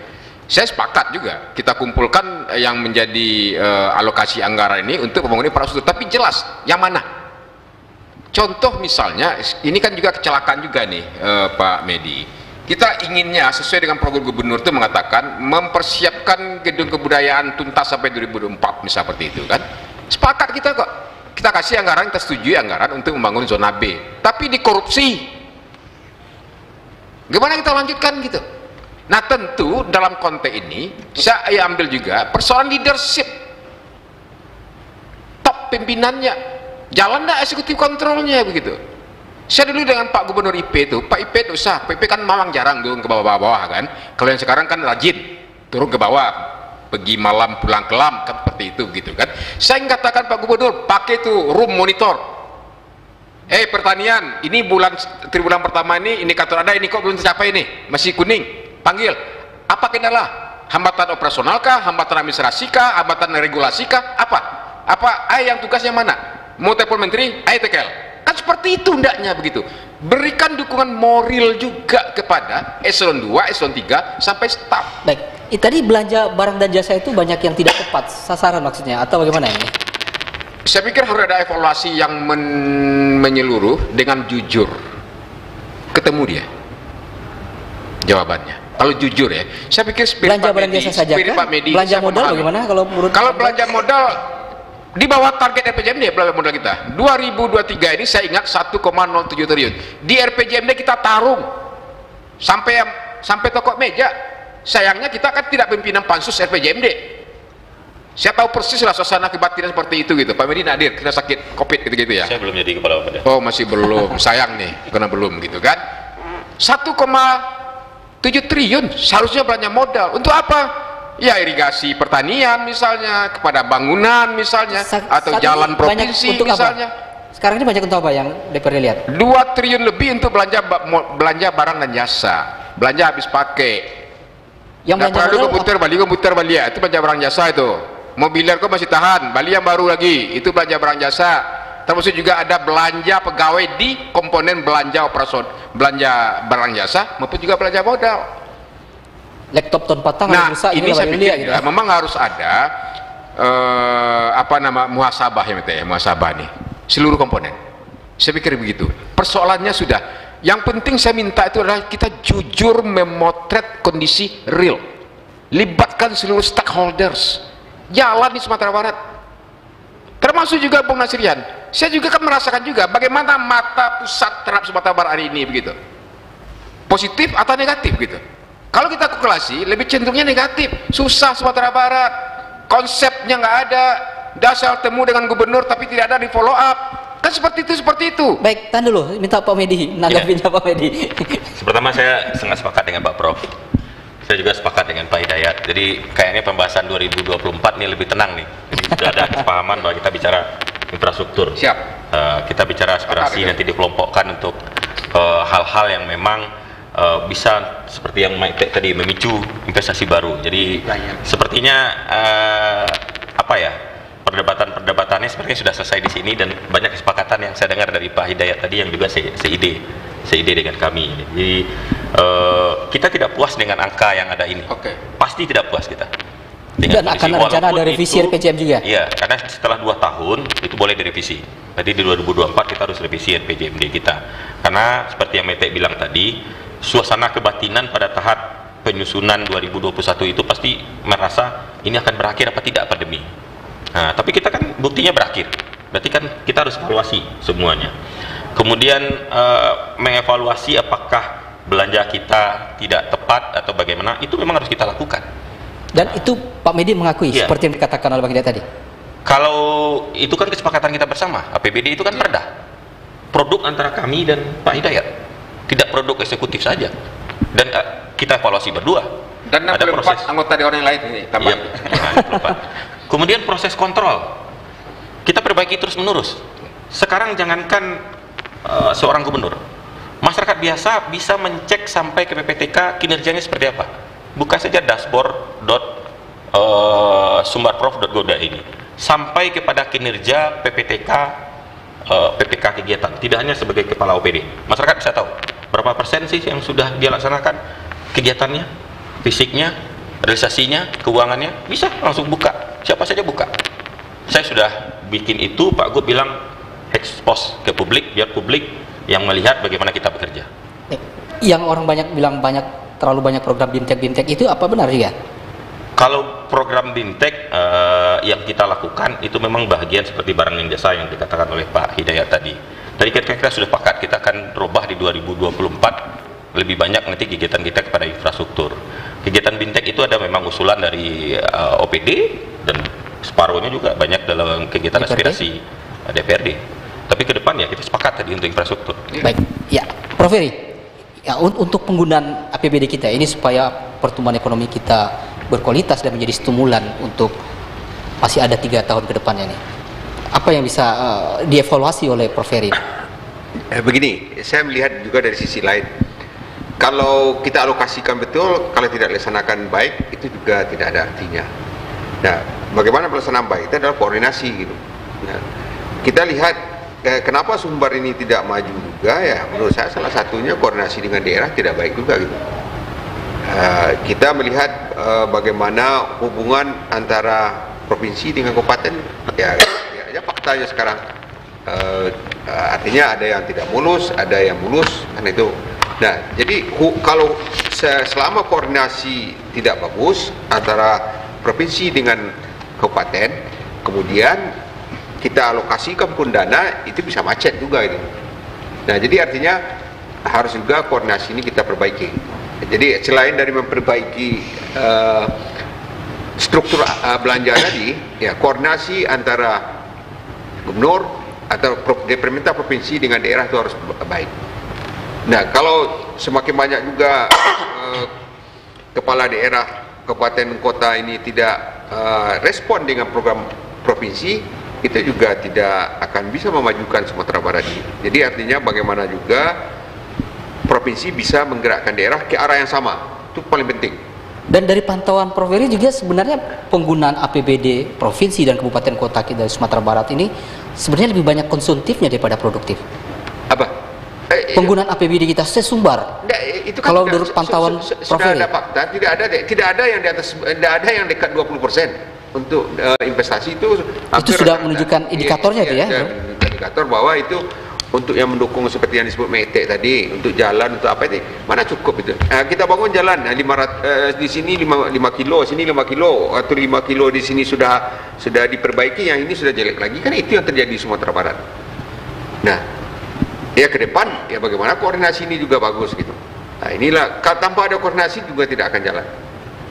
Daerah yang eh, kita buktikan juga di daerah yang koordinasi bagus itu pembangunnya juga lancar. Nanti provinsi sudah sepakat betul ini untuk mengalokasikan dana tapi tidak direspon oleh daerah. Nah salah satu yang ingin saya sampaikan juga itu adalah gini. Coba lihat di dokumen RPJM itu. Itu kan dipatok bahwa kabupaten A sekian entrepreneur eh, di, di halaman berapa deh kabupaten B, itu kan di- dipatok itu Ya, ada alokasi-alokasinya. Ada- saya tanya itu tahu enggak daerah ini apa ini ada enggak dikoordinasikan bahwa anda dapat target sini enggak katanya nah itu bagaimana daerah mau mengalokasikan kalau mereka ti- tidak ada membuat program uh, untuk mendukung entrepreneur ini contohnya. Ya, gimana mau berjalan? Pemkonya tidak tahu kalau dia ada mendapatkan Coba jatah. tanya, saya, saya tidak nyatakan. Saya berapa daerah saya tanya, ini Anda kabupaten A ditargetkan sekian, kabupaten Anda ditargetkan ini 400 ini. Tahu enggak Anda ini? Tahu. Tapi ada enggak eh, misalnya begini, eh, tahu waktu apa saja, waktu koordinasi tapi waktu itu belum pasti juga, itu jawabnya. Nah sekarang ini sudah tertera jadi perda ini. Ada enggak didukung, seperti apa dukungan di daerah? Ada enggak dianggarkan juga ini? Enggak, karena orientasi kami tidak untuk ini kan. Nah, ini, ini contoh bahwa koordinasi itu tidak jalan. Itu di hal yang sederhana saja. Apalagi yang lain.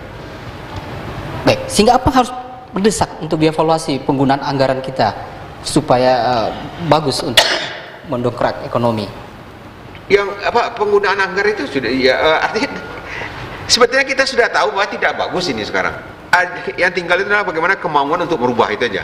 Yang tidak bagus itu bisa Prof sebutkan. Eh, contohnya anggaran Biar tahu juga pemirsa Ya, ini. Oke, yang tidak bagus dah. Masa anggaran belanja barang itu makin lama makin besar. Nah, seharusnya kan semakin ke ujung itu anggaran pembangunan ini semakin besar. Itu tidak baik, itu sudah jelas itu. Nah, coba juga kapasitas fiskal kita bagaimana. Makin lama makin tidak kuat juga gitu. Artinya anggaran yang bisa digeser-geser, yang bisa digunakan untuk pembangunan itu proporsinya makin lama makin kecil. Karena apa? Karena untuk operasional semakin besar juga. Nah, apalagi ditambah juga TPA pada kemarin itu gaji itu ditingkatkan tunjangan daerah itu kan itu kan cukup besar juga itu nah eh, sementara anggaran yang lain tidak ada juga penghematan nah bagaimana ini mau, mau baik itu sudah jelas itu jadi tanpa dievaluasi orang sudah tahu itu umum tidak bagus itu Baik, ya. Kalau Pak Nabi, apa yang sebenarnya harus dianggarkan dan diprogramkan oleh pemerintah supaya mampu setidaknya mendorong dunia usaha di Sumatera Barat? Pertama, eh, saya mengingatkan Pak Medi bahwa eh, Pak Medi bekerja cuma tahun ini. Kan 2024 sudah tahun politik, nggak ada lagi itu kerjaan. Saya pernah terlibat di situ. Karena saya ada di sebelah orang yang memimpin itu. Jadi harus hati-hati. Pak Medi hanya bisa bekerja 2023. 2004 selesai. Karena semuanya sudah sibuk, Pak. Kami pun juga sibuk. Itu yang pertama. Yang Saya kedua, sibuk. Hah? Karena saya bukan orang politik. Iya, enggak artinya pemimpin-pemimpin udah nggak fokus, Pak. Jadi birokrasi tetap berjalan. Ya, birokrasi Ah. tapi dia saya pernah pengalaman. Itu semuanya apalagi sekarang sistem politik beda. Kabupaten kota itu berbeda. Oleh sebab itu menurut saya saatnya 2023 bekerja maksimal. Evaluasilah apa yang harus dilakukan dan tingkatkanlah agar anggaran itu bisa lebih efektif. Yang berikutnya tentang dunia usaha. Mohon maaf, eh, dua tahun itu kan 720 hari ya. Kalau 18.800 itu berarti entrepreneur juta 26 orang per hari. Saya ketua kadin pak, 10 tahun. Tahu persis saya penciptaan entrepreneur itu seperti apa. Kalau bintek, teknis-teknis oke lah. Berdagang, berbisnis tidak gampang. Jadi entrepreneur itu tidak gampang. Kecuali kalau kaki lima, mohon maaf, itu bisa aja. Tapi itu tidak perlu juga dilatih. Itu embrio calon pengusaha. Biarkan aja mereka subsidi berkembang dia. Kasih modal berkembang dia. Tadi saya sampaikan pinjam dari rentenir semua Barat tingkat pinjam rentenirnya tinggi. Oleh sebab itu perhatiannya harus ke situ. Dana Perhatiannya ke sektor informal tadi. Sektor informal itu yang dianggarkan oleh Pak Medi agar maksimal dan tidak lagi karena rentenir. Pagi pinjam 1000, sorenya bayar 1500. Artinya berapa itu bunganya? Nah ini harus jadi perhatian dan ini sudah lama saya teriakkan. Lalu yang berikutnya adalah bahwa eh, saya berharap ini kan perlu juga komitmen CEO ya.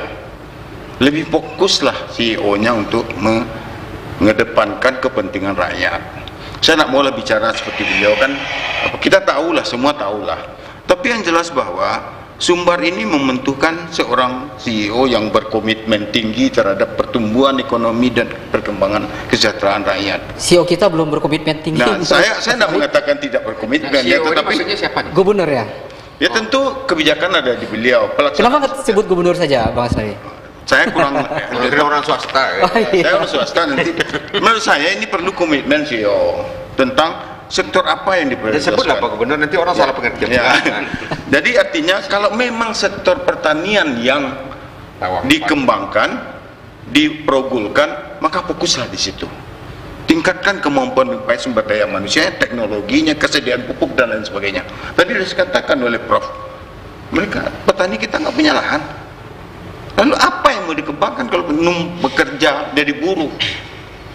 Coba lihat angka kemiskinan itu paling tertinggi di mana? Coba lihat. Pedesaan. Desa itu siapa? Petani. Entrepreneur atau petani? Jadi ini harus harus sinkron dia, sinkronisasi tentang program ini dengan bukti di lapangan. Oleh sebab itu ke depan saya program APBD kita dalam mendorong dunia usaha bagaimana? Gimana, Mas? Nawi melihat program penggunaan APBD untuk program pengembangan dunia usaha saat ini? fokuslah kepada yang betul-betul menunjang kesejahteraan rakyat. Bagaimana pertumbuhan ekonomi kita berkualitas, bagaimana meningkatkan daya beli masyarakat. Karena itu terkait dengan pertumbuhan ekonomi. Tidak ada orang menilai suatu daerah itu tanpa melihat data-data makronya. Pasti yang pertama pertumbuhan ekonominya seperti apa? Angka pengangguran berapa, angka kemiskinan berapa, ekspor berapa, impor berapa, investasi asing lokal, berapa, foreign direct investment berapa, lokalnya berapa. Ini harus penting. Ekspornya berapa, impornya berapa, jelas kok. Kami bahas itu terus. Oleh sebab itu pemerintah harus fokus karena ini tahun terakhir. 2024 itu kita sudah semua ada sibuk lah. Baik. Kalaupun birokrasi bekerja ada orang partai, oke. Tapi yang lain gimana? Nggak fokus lah. Sedangkan sekarang tenang-tenang aja masih begini. Kira-kira itu. Baik, ya. Bang Zul, itu untuk penggunaan APBD kita supaya berkualitas.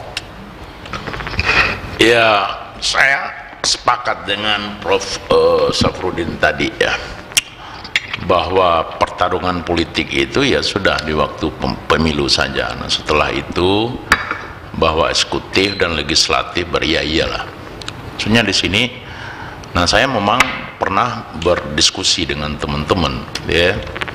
Eh, nah, ketika ini dibangun, nanti yang akan mendapat nama itu Pak Gubernur, kira-kira begitu, ya. Itu itu suatu pernyataan yang sangat naif menurut saya ya. Nah misal sekarang dapil eh, anggota dewan yang di dapil dua misalnya ya 30 orang. Yaudah ini kita eh, aspirasi kita 4 miliar satu orang. Dikali 30 orang itu 120 miliar misal ya. Nah yaudah kita sekarang bikin legacy kita akan bangun itu jalan dari Payakumbuh itu sampai Halaban Lintau ya bro ya nah, nah itu akan menjadi legacy beliau Nah, toh masyarakat nanti akan tahu kalau perlu dipasang baliho setiap 50 meter bahwa jalan ini uh, dari anggota dewan ini, ya anggota dewan ini nggak apa-apa. Kan sekarang artinya apa? Ketika uh, ini suatu kebanggaan bagi anggota dewan, ada sesuatu legasi yang mereka tinggalkan. Itu yang pertama. Nah, saya juga sepakat dengan uh, Prof. Wery tadi bahwa sudahlah antara uh, CEO yang sampaikan Pak U tadi itu kabupaten si CEO kabupaten si CEO dari provinsi oh, oh, tidak ada lagi ego-ego dalam konteks uh, kesejahteraan masyarakat. Nah, ketika misalnya ini menjadi kewenangan dari kabupaten. Ini saya tahu dengan uh, BKK. Ini sekarang di Perwisata ada namanya BKK. Begitu provinsi mau kasih anggaran ke kabupaten, ternyata kabupaten dari segi lahan tidak menyiapkan. Akhirnya itu tidak bisa dieksekusi juga. Yang rugi siapa? Yang rugi jadinya masyarakat. Karena provinsi kan tidak mempunyai mempunyai wilayah. Yang mempunyai wilayah itu adalah kabupaten. Nah, antara gubernur bupati ini eh, apa ya? Ya eh, artinya orientasi orientasi bahwa kita sama-sama membangun Sumatera Barat. Bahwa Sumatera Barat itu eh, tidak mempunyai wilayah, bahwa yang punya wilayah itu kabupaten. Nah, di- satu lagi, dapil satu misalnya. Untuk ya Eh, sebentar Pak Dean, dapil satu karena waktu ini misalnya. untuk pariwisata apa yang bisa dievaluasi oleh eh, Bang Zurizul untuk penggunaan anggarannya dan untuk ke depan bagusnya seperti apa? Jadi pemahaman kita tentang pariwisata ini bukannya membangun destinasi wisata itu yang salah. Bahwa yang men-trigger pariwisata itu adalah accessibility itu yang pertama. Berkali-kali mungkin Pak U juga selalu menyampaikan itu. Bahwa pendamen dari pariwisata itu yang pertama sekali itu adalah accessibility. Ya, bahwa bahwa bahwa ketika itu terintegrasi accessibility itu Ya, sekarang jalan dari Padang luar ke Maninjau bagaimana? Ini bus pariwisatamu bisa lewat jalan eh, dari Tanah datar ke Solunto sempit, bus perwisata tidak terintegrasi. Artinya dalam dua tahun terakhir ini itu belum menjadi prioritas. Harus jadi prioritas. Itu yang akan harus menjadi prioritas. Nah caranya bagaimana? Nah dapil satu itu Pak anggota dewannya ada 35 orang misal ya, Padang, Sejunjung ya udah patungan lah aspirasinya 4 miliar satu orang misalnya ya, nah, terkumpul lah 150 miliar. Itu bisa membangun akses jalan baru yang meng, dia juga berfungsi mengurai kemacetan. Nah ini saya yakin ini, ini lebaran besok kita mau teriak-teriak lagi nih heboh ini gitu kan. Baik. Bahwa tidak pernah ada jalan yang diurai. Nah kesepakatan itu kuncinya yang disampaikan Prof. Arimi tadi. Sudahlah, ini kita berbicara bahwa ada tanggung jawab moral kita. Tidak bisa dipungkiri bahwa eksekutif dan legislatif itu dia digaji dari uang rakyat. Bahwa dia harus juga memberikan fasilitas untuk rakyat. Bahwa seluruh mobil di Sumatera Barat ini kita membayar pajak. Nah kita juga tidak mau bermacet-macet. Nah di situlah fungsi dari eksekutif dan legislatif. Nah ketika accessibility baru yang dibangun ke depan, semuanya akan terjawab, investasi pasti akan masuk.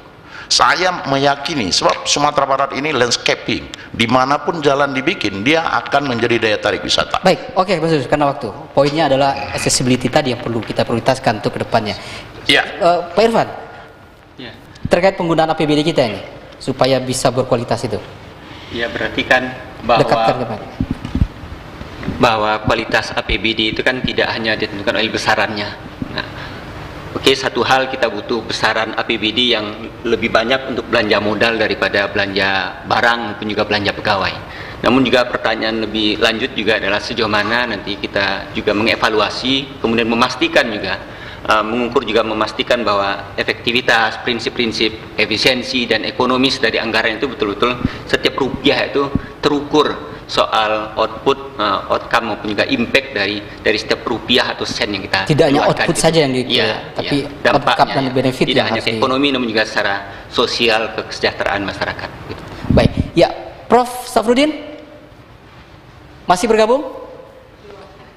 Prof, minta sikat saja masukan Prof untuk penggunaan APBD kita supaya produktif dan berkualitas. Itu saya setuju tadi itu, memang, harus ada koordinasi kebijakan, integrasi kebijakan, khususnya perencanaan kebijakan ya, sehingga bisa belanja-belanja daerah itu baik modal maupun bisa terukur sejalan dengan Pak Irfan itu ya. Jadi sampai ke dampaknya. Di sini saya melihat kepala Bapeda itu punya peran yang sangat penting tuh untuk mengkoordinasikan kebijakan dengan Bapeda daerah, kota, dan kabupaten gitu. Saya tidak tahu selama ini seberapa efektif itu dilakukan.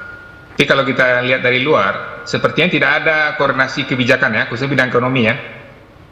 Nah, sudah dianggarkan dari provinsi ini, tahu-tahu daerah tidak mampu ya, tidak punya lahan ya, padahal investasinya butuh lahan. Nah, itu contoh-contoh kecil ya. Jadi ke depan itu mungkin perlu integrasi perencanaan kebijakan. Nah, di sini saya melihat Pak Kepala Bapeda itu punya peran penting tuh. Kalau misalnya suatu daerah tidak mau, tentu dia tidak akan dapat alokasi dana provinsi gitu. Jangan dialokasikan kalau mereka nggak mau, nggak mau dukung ya.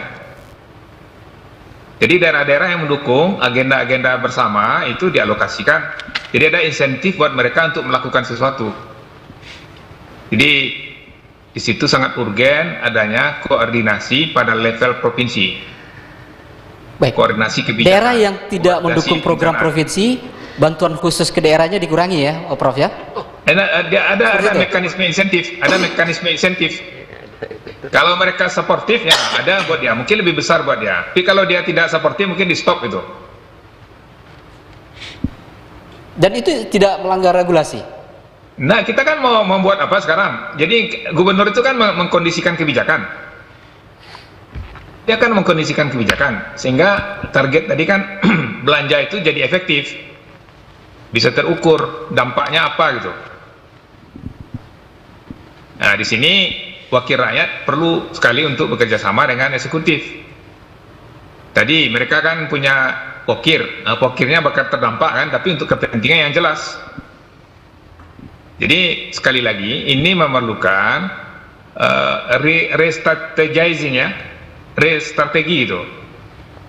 prioritasnya apa jadi menuju 2024 ini apa dari sekarang udah kita pikirkan apa itu Baik. daripada Oke. belanja kita tidak Prof. tidak ya Baik, karena waktu kalau Prof nilai berapa rapor 2 tahun Mahyali Audi saat ini? kalau saya Untuk khusus ekonomi. kalau saya kalau dari sisi sisi apa sisi laju pertumbuhan ekonomi stabil ya jadi bagus nilainya Berapa? A lah nilai itu kalau laju pertumbuhan ekonominya bahkan sudah di atas target kan jadi saya urgennya bukan di situ menurut saya gitu urgennya adalah di policy direction ya Baik. yang perlu kita perbaiki kita dukung untuk perbaikan itu Baik, terima kasih Prof. karena kita ingin ada perbaikan dalam pembangunan ekonomi Sumbar itu Baik. Ya. yang makin kompetitif Oke, kalau Bang Hidayat berapa berikan nilai untuk di akhir cerita kita? Kalau gubernur tidak merangkap jabatan menjadi ketua partai itu bisa B minus. B minus. Kuncinya nilai. situ. Ini persoalan leadership aja. Baik. Tapi jangan merangkap jabatan dengan ketua berapa partai. rapor itu diberikan? Kencang itu. Kalau saya Untuk ekonomi kita khususnya nih. Ya, kalau saya melihat dengan kondisi bahwa target itu Pak Medi sudah menghitung ternyata kita menilai rendah, tentu kita juga menyatakan rendah nilainya. Saya menilai Pak Gubernur B minus juga. B minus juga. Baik. Pak Prof Jadi kalau memberi penilaian tentu berdasarkan fakta. Nah, jadi dari, ya, kalau saya bahwa dalam dua tahun ini belum mencapai apa yang dijanjikan. Itu nilai saya. Jadi belum mencapai apa yang dijanjikan. Nah, kalau janji belum capai kan utang itu. Nah, ini berat lagi dari penilaian. Jadi utang itu harus dibayar. Nah, oleh sebab itu bagi gubernur itu tinggal tahun 2023 ini lagi. 2004 oke lah, tidak ada lagi itu. Nah, oleh sebab itu menurut saya satu jangan kibuli masyarakat. Nah, apa kibuli? Contohnya tadi dinyatakan sudah rendah pertumbuhan dia katakan juga berkualitas. Jadi yang pertumbuhan ekonomi berkualitas itu tinggi, pengangguran rendah, kemiskinan rendah. Itu yang berkualitas. Ah, kita udah rendah, katakan berkualitas sudah. Itu mengibuli. Ah, itu harus dikurangi. Nah, yang berikutnya lagi, entrepreneur juga mengibuli. Sampai ketika sampai ke Prof. Sapudin Kerimi. Salah satu ciri entrepreneur itu adalah inovasi. Ah, mana ada tercipta inovasi dari yang ada ini sekarang? Nah, jadi mengibuli itu juga harus dikurangi. Kedua, yang ketiga, RPJM harus direvisi.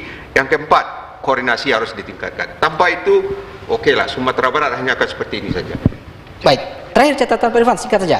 Ya, Untuk eh, memberikan nilai juga boleh. basis penilaian saya adalah bagaimana kondisi selama dua tahun ini dengan dasar capaian 2019 apakah sudah pulih di 2022. Nah, dalam hal ini pertumbuhan belum sepenuhnya pulih, kemudian juga inflasi kita masih belum bisa menjaga stabilitas harga, tapi aspek-aspek kinerja-kinerja pembangunan lainnya itu sudah tercapai. Baik. Jadi perhatian kita kepada apa? Kepada nilai tambah itu juga menjadi penting. Anggaran pertanian itu juga mesti efektif efisien. Nah, tugas kita adalah meningkatkan produktivitas, meningkatkan nilai tambah, mengembangkan agroindustri tadi yang skalanya udah skala kecil, skala menengah saja tidak perlu skala besar. Baik, Nah, nilainya berapa? B, B plus. Ya, Ini rapor kami kasih. 80 lah. 80 ya. ya. Mendekati A minus dengan B plus. Maite Zurizul, terakhir nanti Pak Medi. Apa? Apa tuh? Jangan sampai ndak A. Ya, rapornya. Ya harus Allah. Rapor dua tahun ini dan catatan kritisnya. Ya, bagi saya minimal pondamen wala- walaupun satu tahun baru. Yang efektif yang pro, progul Pak Gubernur itu kan baru satu tahun ya. Yang pertama gitu ya. Eh, tapi pondamen sudah diletakkan gitu, Prof. Artinya kita tidak bisa juga pungkiri bahwa memang pen- pertumbuhan ekonomi meningkat. Eh, dan semua yang menjadi indikator itu eh, di di apa di atas target, di atas target yang dicantumkan oleh RPJMD yang disepakati oleh DPRD itu Pak Dayat ya. Nah itu tidak boleh dipungkiri itu Pak Dayat. Ya. Jadi Pak Dayat harus memberikan eh, apresiasi. Terus yang kedua kondusivitas antara eh, gubernur dengan wagub ini juga harus kita apresiasi. Nah pondamen kedua pondamen ini membuat kita mempunyai optimisme Nah, tinggal lagi seperti yang dikatakan Prof Ferry tadi, ini bagaimana ini eh, RK apa lagi menyusun anggaran 2024 Terakhir, letakkanlah. rapornya berapa? Yang mana? Rapor ekonomi. Iya, kalau Pak Hidayat B minus Ya, saya boleh 70 lah. katakan eh, B plus lah gitu ya. Kan harus tinggi daripada Hidayat. ya, Pak Medi ini bahasa Pak Weri ya jangan ngibuli-ngibuli nih data-data gitu. Iya. Bagaimana terakhir? Pertama, kita bekerja basisnya RPJMD. Kita sepakati itu. Basisnya RPJMD. Karena itu dasar hukum, perda kesepakatan. Kalau kita tidak puas dengan RPJMD, kita perbaiki. Kita masih punya waktu di 2024. Ini memang RPJMD-nya unik. RPJMD 2021-2026 masa bakti gubernurnya 2021-2024. Jadi memang tidak tidak cocok. Jadi gubernur bekerja tiga tahun dengan target lima tahun. Itu harus harus kita pahami kondisinya. Nah, harus objektif kita melihatnya. Dan murni anggaran yang disusun itu baru tahun 2022 kemarin. Nah, jadi kalau misalnya kita semua sudah capai dengan RPJMD, target RPJMD, semuanya dan kalau kita tidak puas dengan target yang rendah karena kondisinya kita susun saat pandemi kita perbaiki di tahun 2024 dan tadi sudah sepakat sudah sepakat dengan Pak Hidayat demikian Baik, terima kasih Pak Medi Iswandi Kepala Bapeda Sumbar, terima kasih Pak Dr. Muhammad Irfan, terima kasih Bang Zurizul, Pak Profesor Weri, Bang Asmi Bahar, Bang Hidayat, dan juga Prof. Safrudin Karimi. Baik pemirsa, tadilah itu dari diskusi kita, tidak semua tentunya puas dengan kinerja khususnya ekonomi dua tahun Pak Medi Audi. Yang jelas ini sebagai bahan berpikir dan mitra berpikir dari pemerintah provinsi untuk perbaikan dan percepatan ekonomi ke depan. Terima kasih atas perhatiannya. Sampai jumpa. Assalamualaikum warahmatullahi wabarakatuh.